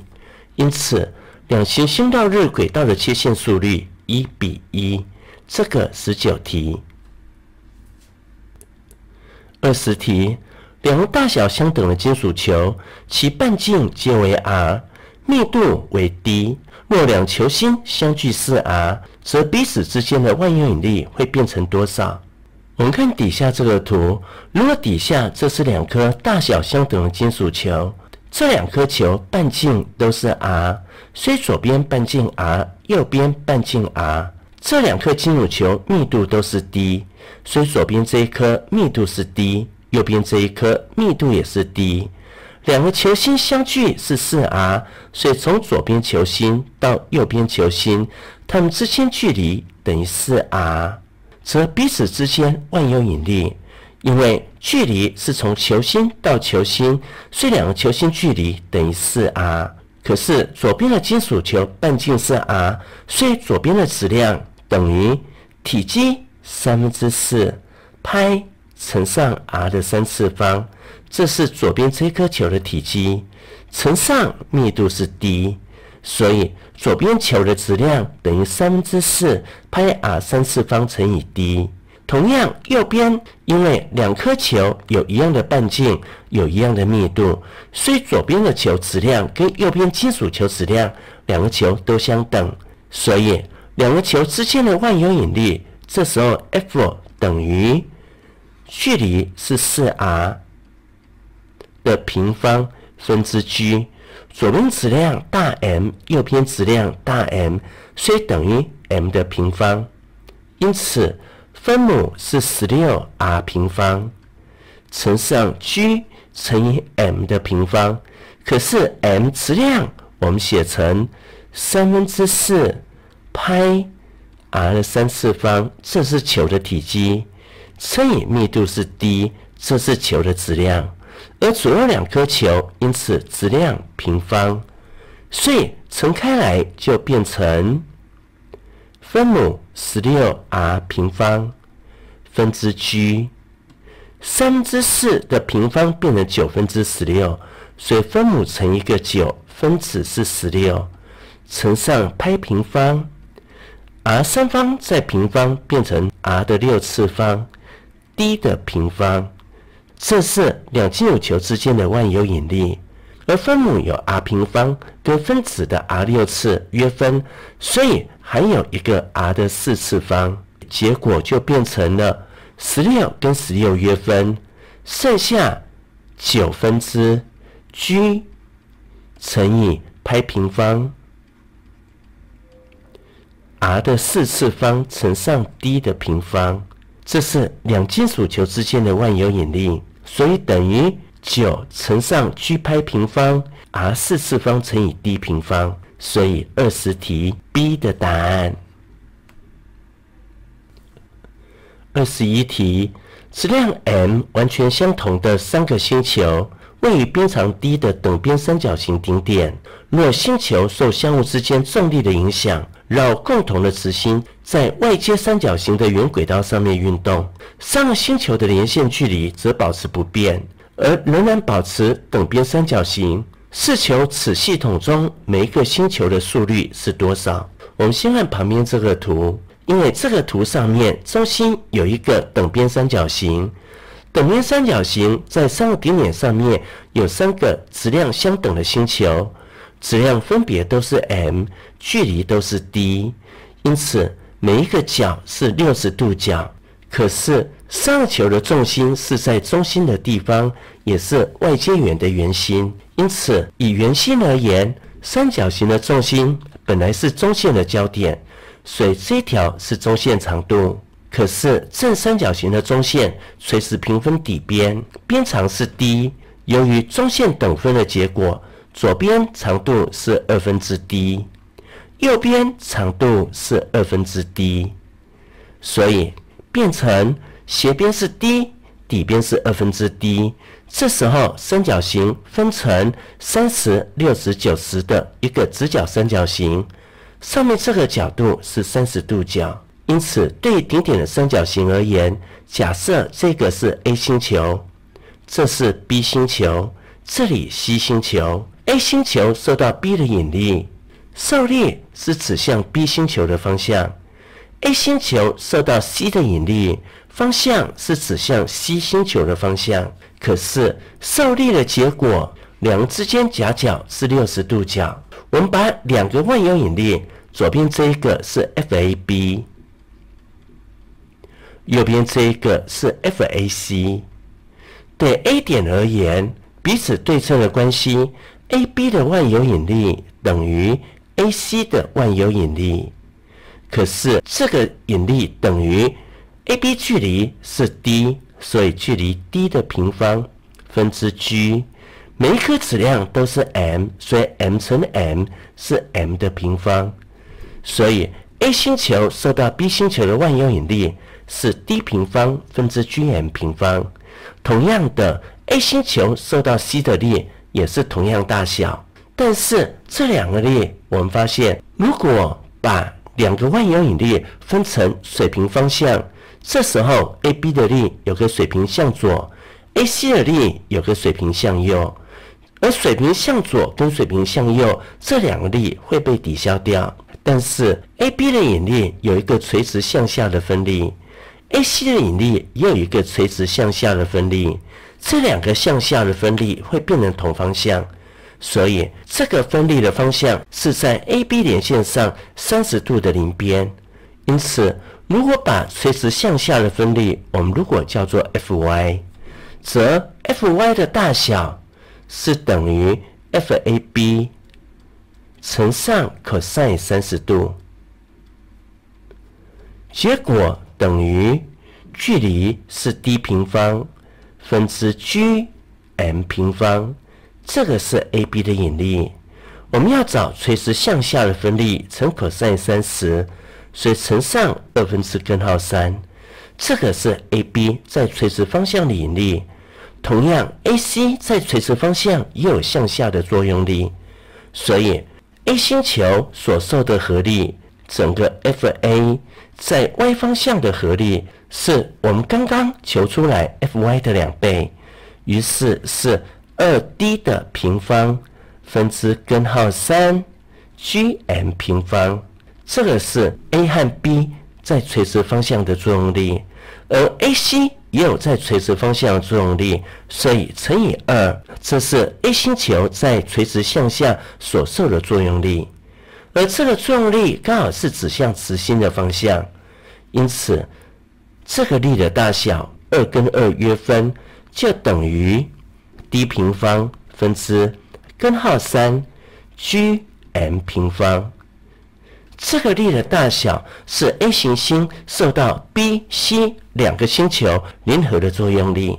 而这个力也造成了 A 星球做圆周运动的向心力，而这个作用力等于 A 星球质量 m 乘上 v 平方除以 r。这个 r 是 A 星球绕着直心的轨道半径，可是这个 r 我们从图上来看。假设 A 星球在三角形上面垂直的中垂线，如果这个垂直高假设是 h，则 h 等于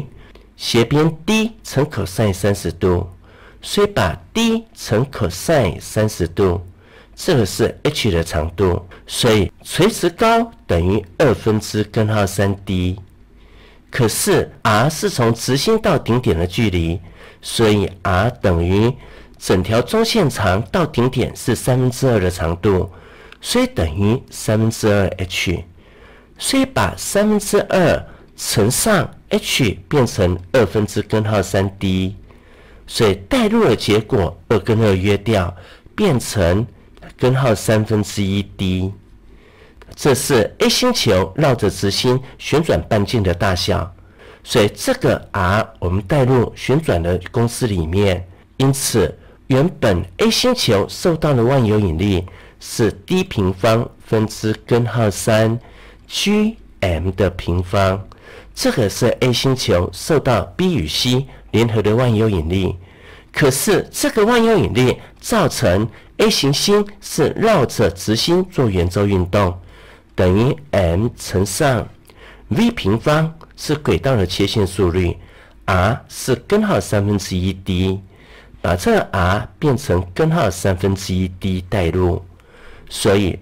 左右两边我们约掉一个 m，把根号三分之一 d 变成 d 分之根号三 v 平方，所以左边根号三，右边根号三可以约掉，而分母 d 跟 d 平方可以约掉一次，左边分母还有个 d 乘以 v 平方。所以 d 乘上 v 平方等于 g 乘 m，所以 v 平方等于 d 分之 g m，因此切线速率 v 等于根号 g m 除以 d，所以 A 星球绕着直心，它旋转的切线速率是根号 g m 除以 d。所以二十一题 C 的答案，从图上 A 星球的切线速度跟 B 星球的切线速度以及 C 星球的切线速度，因为彼此质量都相同，距离都相同，所以彼此绕着共同的直心，它们旋转的切线速率都会等于根号 g m 除以 d。这是二十一题的结果。第二十二题。将密度为 ρ 且半径为 r 的大球挖去直径为 r 的小球，再将质量为小 m 的质点放在大球原来圆心的地方，则剩余部分对质点 m 它的万有引力会等于多少？我们看旁边这个图，题目说一个大球原本半径是 r，这个大球原本它的半径等于 r。现在在右边挖掉一块直径为 r 的小球，所以直径为 r 的小球，也就是这小球半径是二分之一 r。对于大球而言，半径是 r，小球半径二分之一 r。但是大球跟小球密度都是 low，所以对大球而言，m 大球质量等于体积乘密度，体积是球的半径三分之四。派乘上 r 的三次方，这个是球的体积，乘上密度是 low，这是原本大球的质量。而小球的质量 m 小球等于体积乘密度。可是小球的体积是三分之四派，乘上半径是二分之一 r 的三次方，乘以密度是 ρ，把体积乘上密度，这个是小球的质量，所以等于二分之一的三次方等于八分之一，所以三分之四派 r 的三次方乘以 ρ，再乘上八分之一。这个是小球的质量。现在在大球的圆心地方放一块质量小 m 的物体，所以整块大球对小 m 的引力。所以我们利用重叠的质量来求小 m 所受到的万有引力。对于小 m 所受到的万有引力 F 小 m，这个表示小 m 所受的万有引力，包括 F 从原本大球对小 m 的万有引力，加上。小球对小 m 的万有引力，可是小 m 是放在大球球心的地方，而距离是从球心算起，因此在球心的地方所受的引力等于零。所以第一项，小 m 在大球的球心，它所受到的引力等于零，加上小球对小 m 的引力，因为小球是挖掉的质量，所以我们用负质量，负质量等于负的。小球的球心，它到小 m 的距离，它的距离是二分之一 r，所以二分之一 r 距离的平方分之 g 乘上 m，小球的质量是四跟八，我们约掉这里是二，所以二三六，因此六分之一派 r 三次方乘上 ρ，这个小球质量。再乘上小 m，这是挖掉的小球，它和小 m 之间的万有引力。这个万有引力就等于负的二分之一 r 的平方变成四分之一 r 平方分之六分之一 g 派 r 的三次方 ρ m。我们把前面的数字合并，结果等于负的。六分之一除以四分之一等于六分之四，所以是三分之二。r 三次方跟 r 平方分子跟分母约分，还剩下一个 r，所以等于 g 派 r o m。这是小 m 跟挖掉的小球它们之间的万有引力，所以。原本小 m 如果跟实心的小球所受的力，这时候小 m 受力是向右边，但是这个负号表示小 m 这时候所受到的力是向左边的力，所以向左边的力 F m 等于负的三分之二 G 派 R O M 所以小 m 对于整个大球挖掉右边的小球之后，剩余的质量是三分之二派 G。R ρ m，这个是二十二题。二三题，从半径为二 r 的均质球体挖取半径为 r 的小球以后，再将小球置于大球的右侧，且与它相切。如右图，设所挖出的小球质量为小 m，则两者之间的万有引力量值为多少？我们看旁边这个图。原本一个半径为二 r 的一个均质球体，这里有一个大球，它的半径本来是二 r，所以原本的二 r 本来是半径这一段的大小，这一段的半径本来是二 r。现在右边挖掉一个半径 r 的小球，所以右边挖掉了这一段，这个半径是 r，把挖掉了这个小球再放到大球的右边，让大球跟小球两个相切。则如果小球挖掉的质量是小 m，这颗挖掉的质量如果是小 m，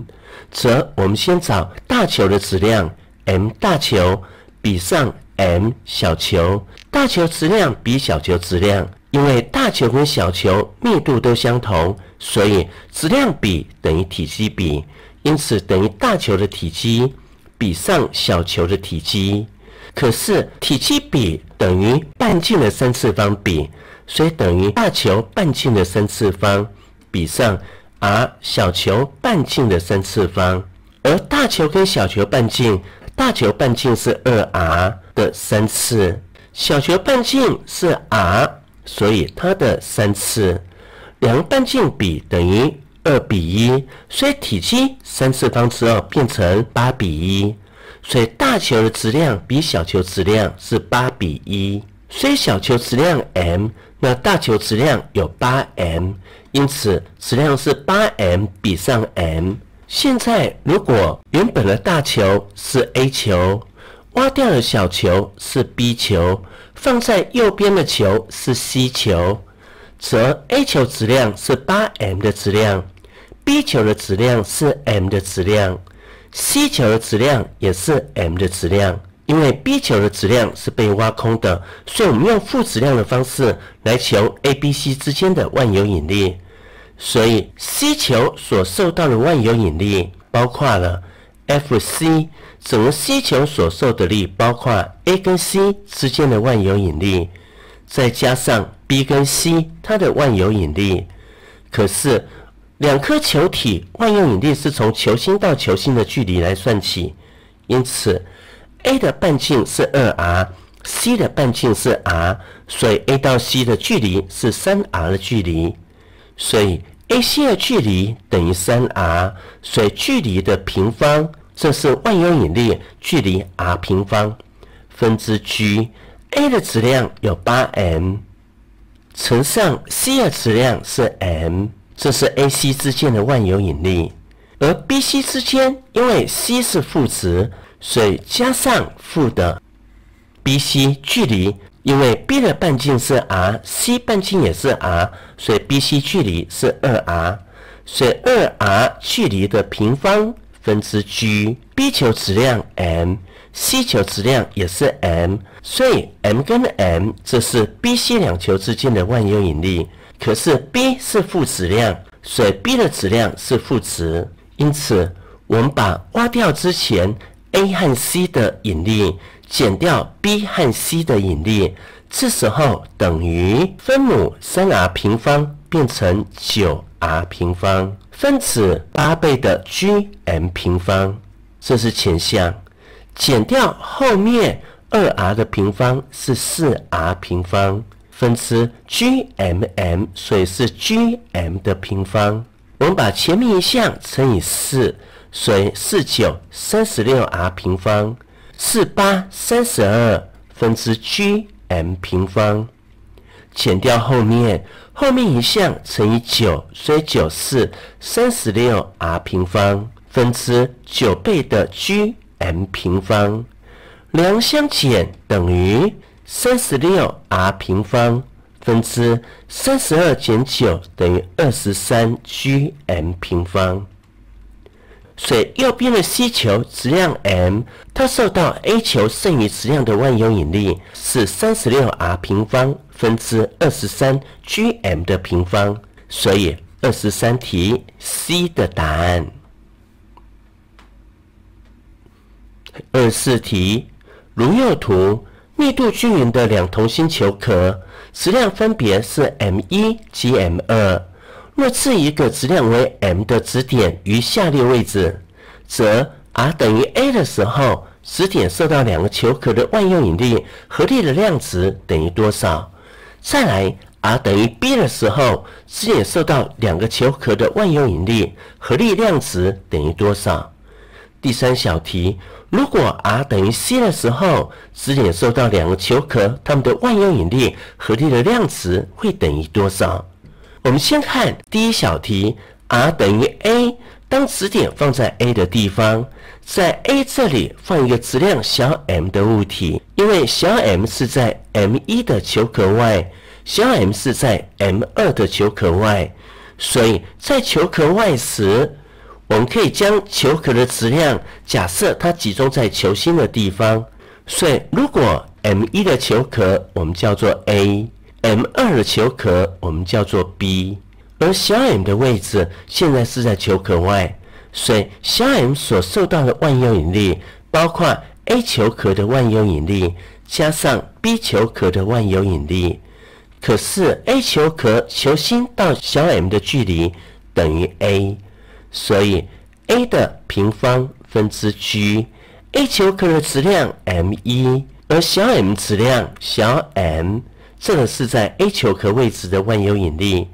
加上 b 球壳，b 球壳的质量也是集中在球心，所以它到小 m 的距离也是 a，所以 a 的平方分之 g，b 球壳的质量是 m 二，乘上小 m 质量小 m，所以两个加起来。等于我们把两项加起来，分母都是 a 平方，所以等于 a 平方分之 g 小 m 乘上前面 m 一，后面 m 二，所以等于 g m 乘上 m 一加 m 二。这个是在求壳外的时候，小 m 所受到的万有引力。因此，第一小题等于 a 平方分之 g。小 m 乘上 m 一加上 m 二，而第二小题 r 如果等于 b，放在 b 的位置上。刚刚第一小题，现在第二小题。第二小题，因为 b 的位置是在 a 的球壳内，在球壳内，则 a 球壳的质量无法对内部的质量造成引力，所以本来 a 球壳的引力。加上 B 球壳的引力，可是小 m 是在 A 球壳的内部，所以 A 球壳对小 m 引力等于零。加上 B 球壳，因为小 m 是在 B 球壳的外面，而距离 B 球壳的圆心距离是 b，所以等于 B 球壳对小 m 的引力是 b 平方分之 g。B 球壳的质量 m 二乘上小 m。所以这个是 A 球壳的引力是零，而 B 球壳的引力是 b 平方分之 g m 二乘小 m，所以加起来等于 b 平方分之 g m 二乘上 m，所以物体放在 B 的位置，这时候只受到 B 球壳的引力，这时候的引力大小等于 b 平方分之 g m 二乘以 m，这个是第二小题。第三小题，如果 r 等于 c 时，质点受到两个球壳的万有引力，因为 c 的位置是在 A 的球壳内，也在 B 的球壳内，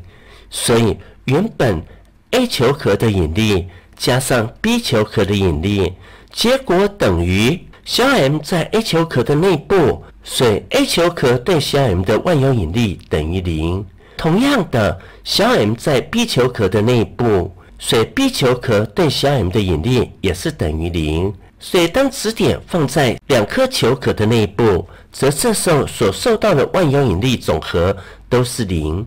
所以第三小题，A 球壳对小 m 万有引力是零，B 球壳对小 m 万有引力是零。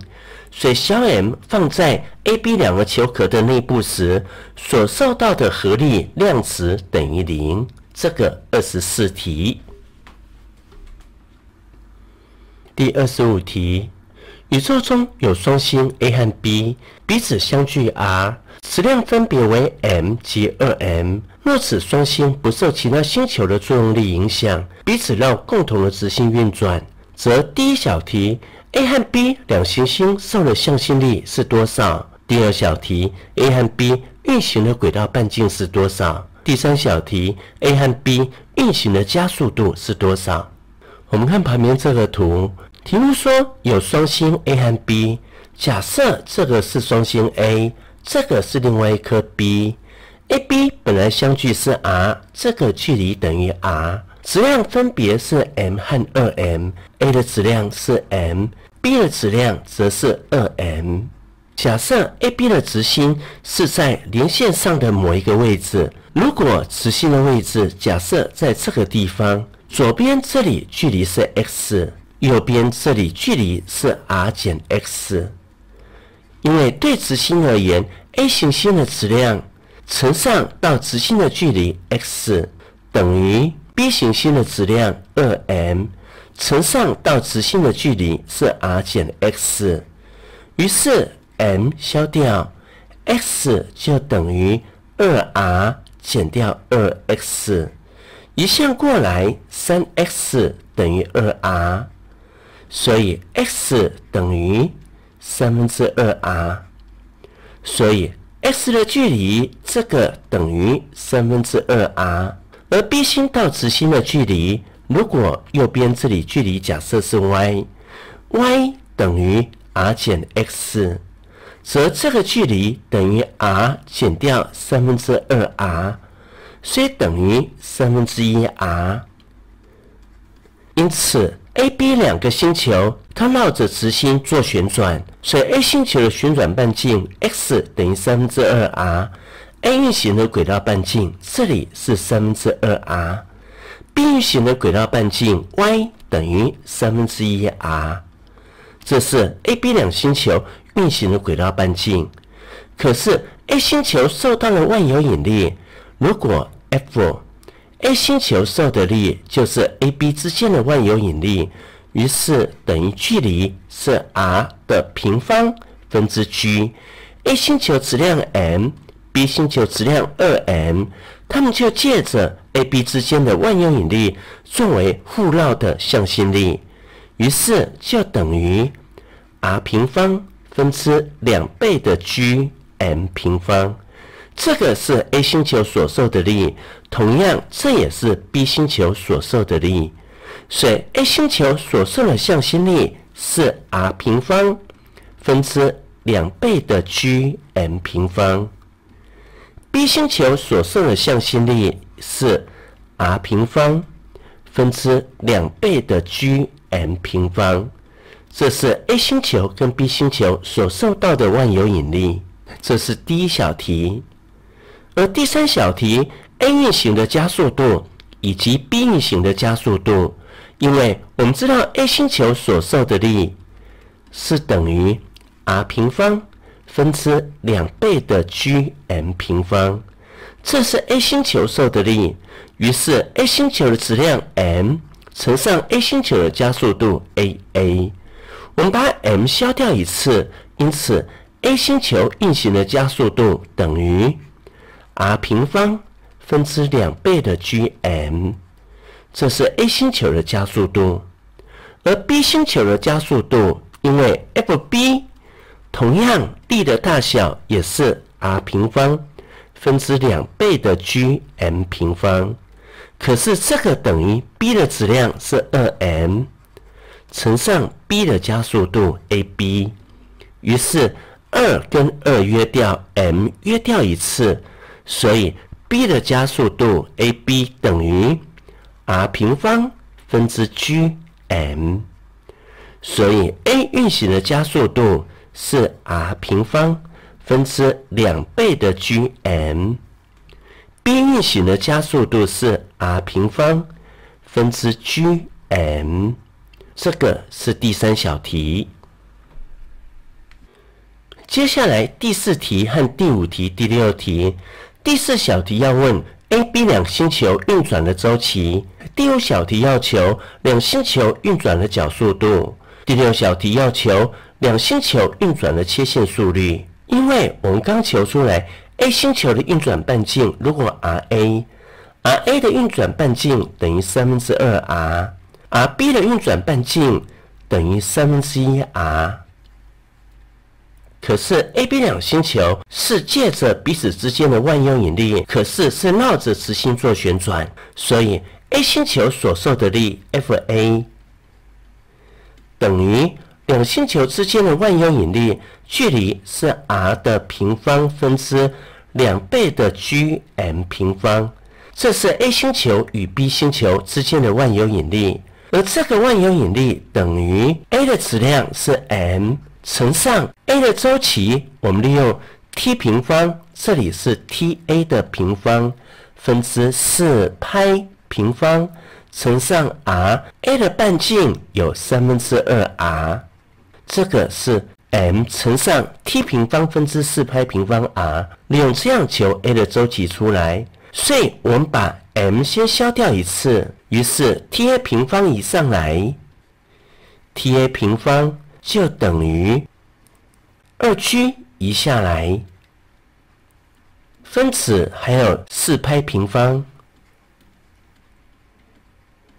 乘上三分之二 r 平方乘 r，所以乘上三分之二 r 的三次方。因此化简的结果，二跟四约掉，这里是二。三写到分母来，所以三 g 分之二二四，因此四拍平方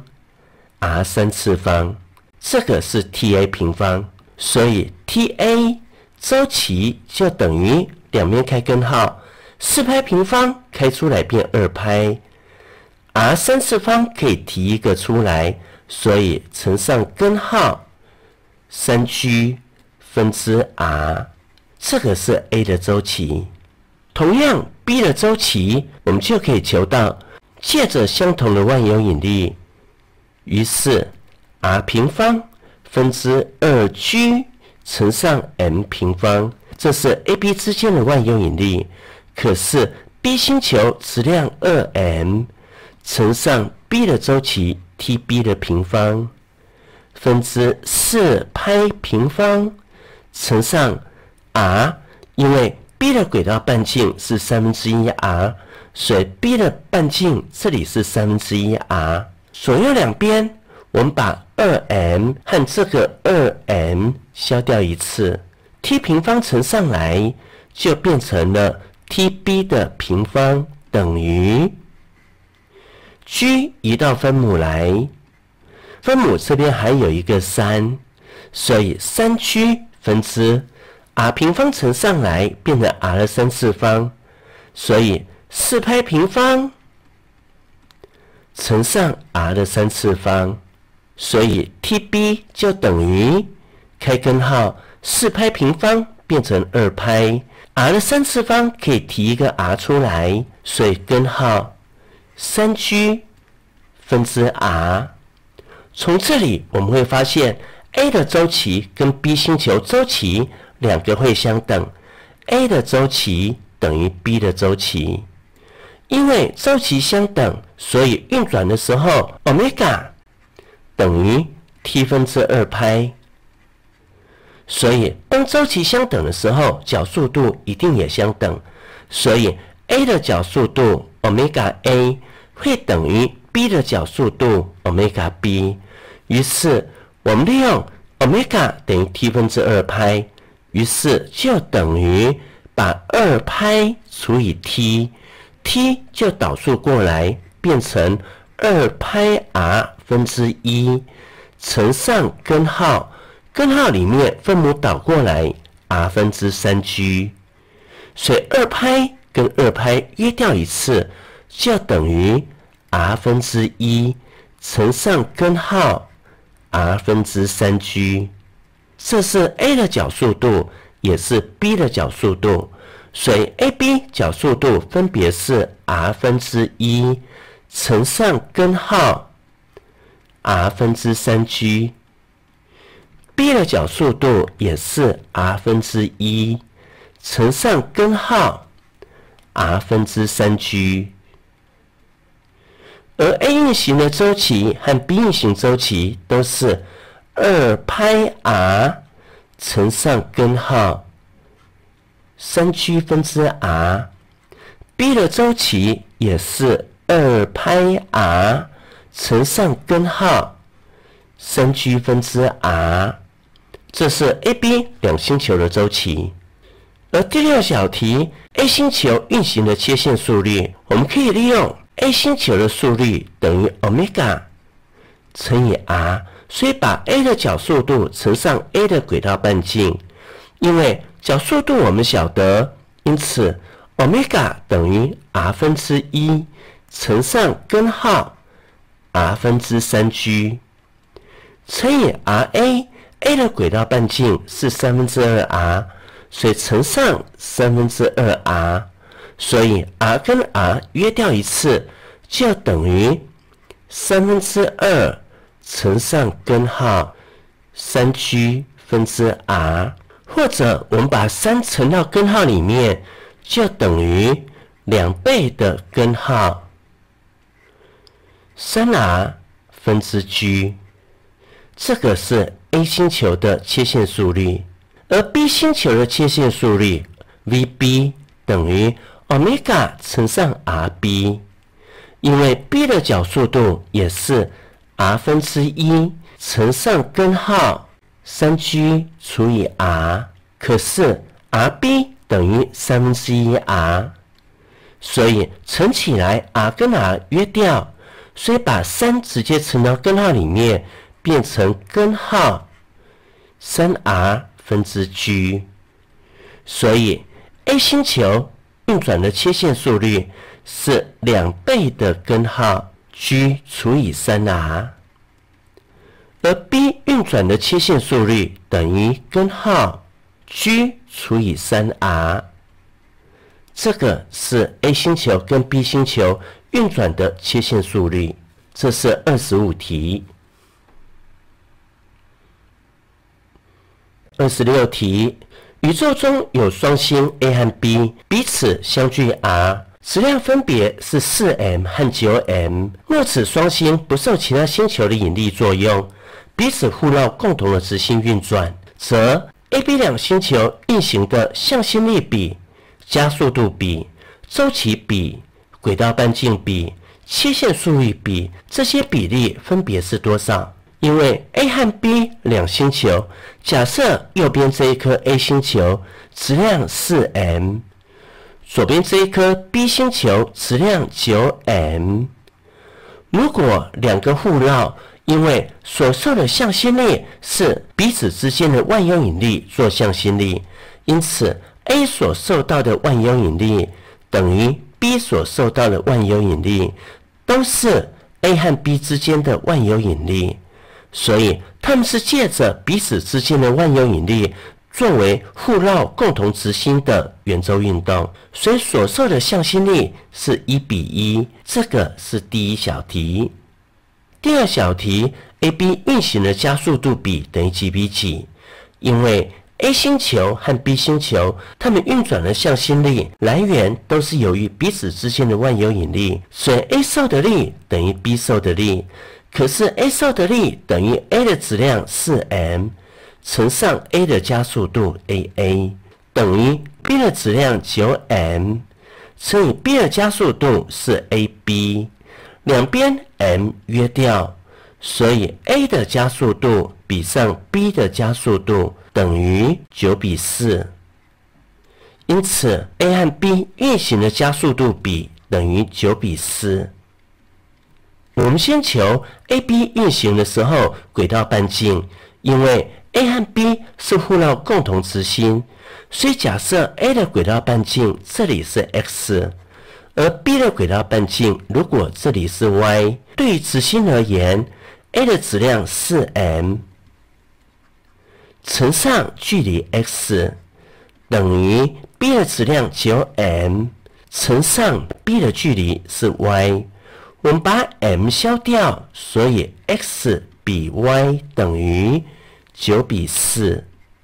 所以 A 和 B 两个运行轨道半径比九比四，所以 A 的轨道半径比上 B 的轨道半径是九比四。可是运转的周期，因为加速度 a 等于 t 平方分之四派平方乘以 r。所以，对于周期而言，t 的平方等于 a 分之四派平方乘以 r。所以，对于 a 的周期，t a 的平方比上 b 的周期 t b 的平方等于两个周期的比分母是 a 加速度，两个加速度九比四，所以 a 的加速度是九。B 的加速度是四，这是 A 跟 B 分母 A 的部分。分子四派平方 r，所以 A 是四派平方乘上 r，A 的轨道半径是九，比上 B 的轨道半径四派平方乘上 B 的轨道半径是四，所以前后四派平方约掉。九除以九，四除以四，所以等于一比一。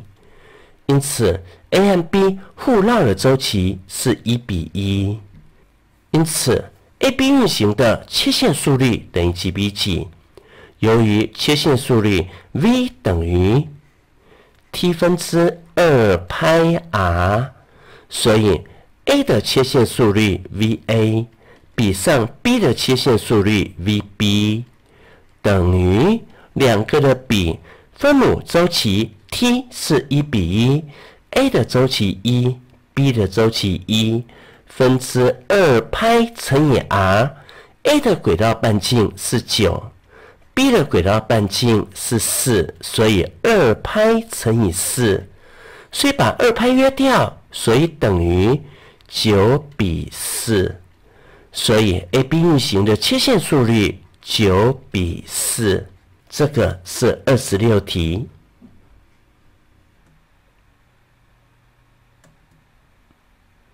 成功之前难免有失败。只要冷静地分析原因，不要重蹈失败的覆辙，咬紧牙也要坚持到底，成功便离我们不远了。愿这段话与您共勉。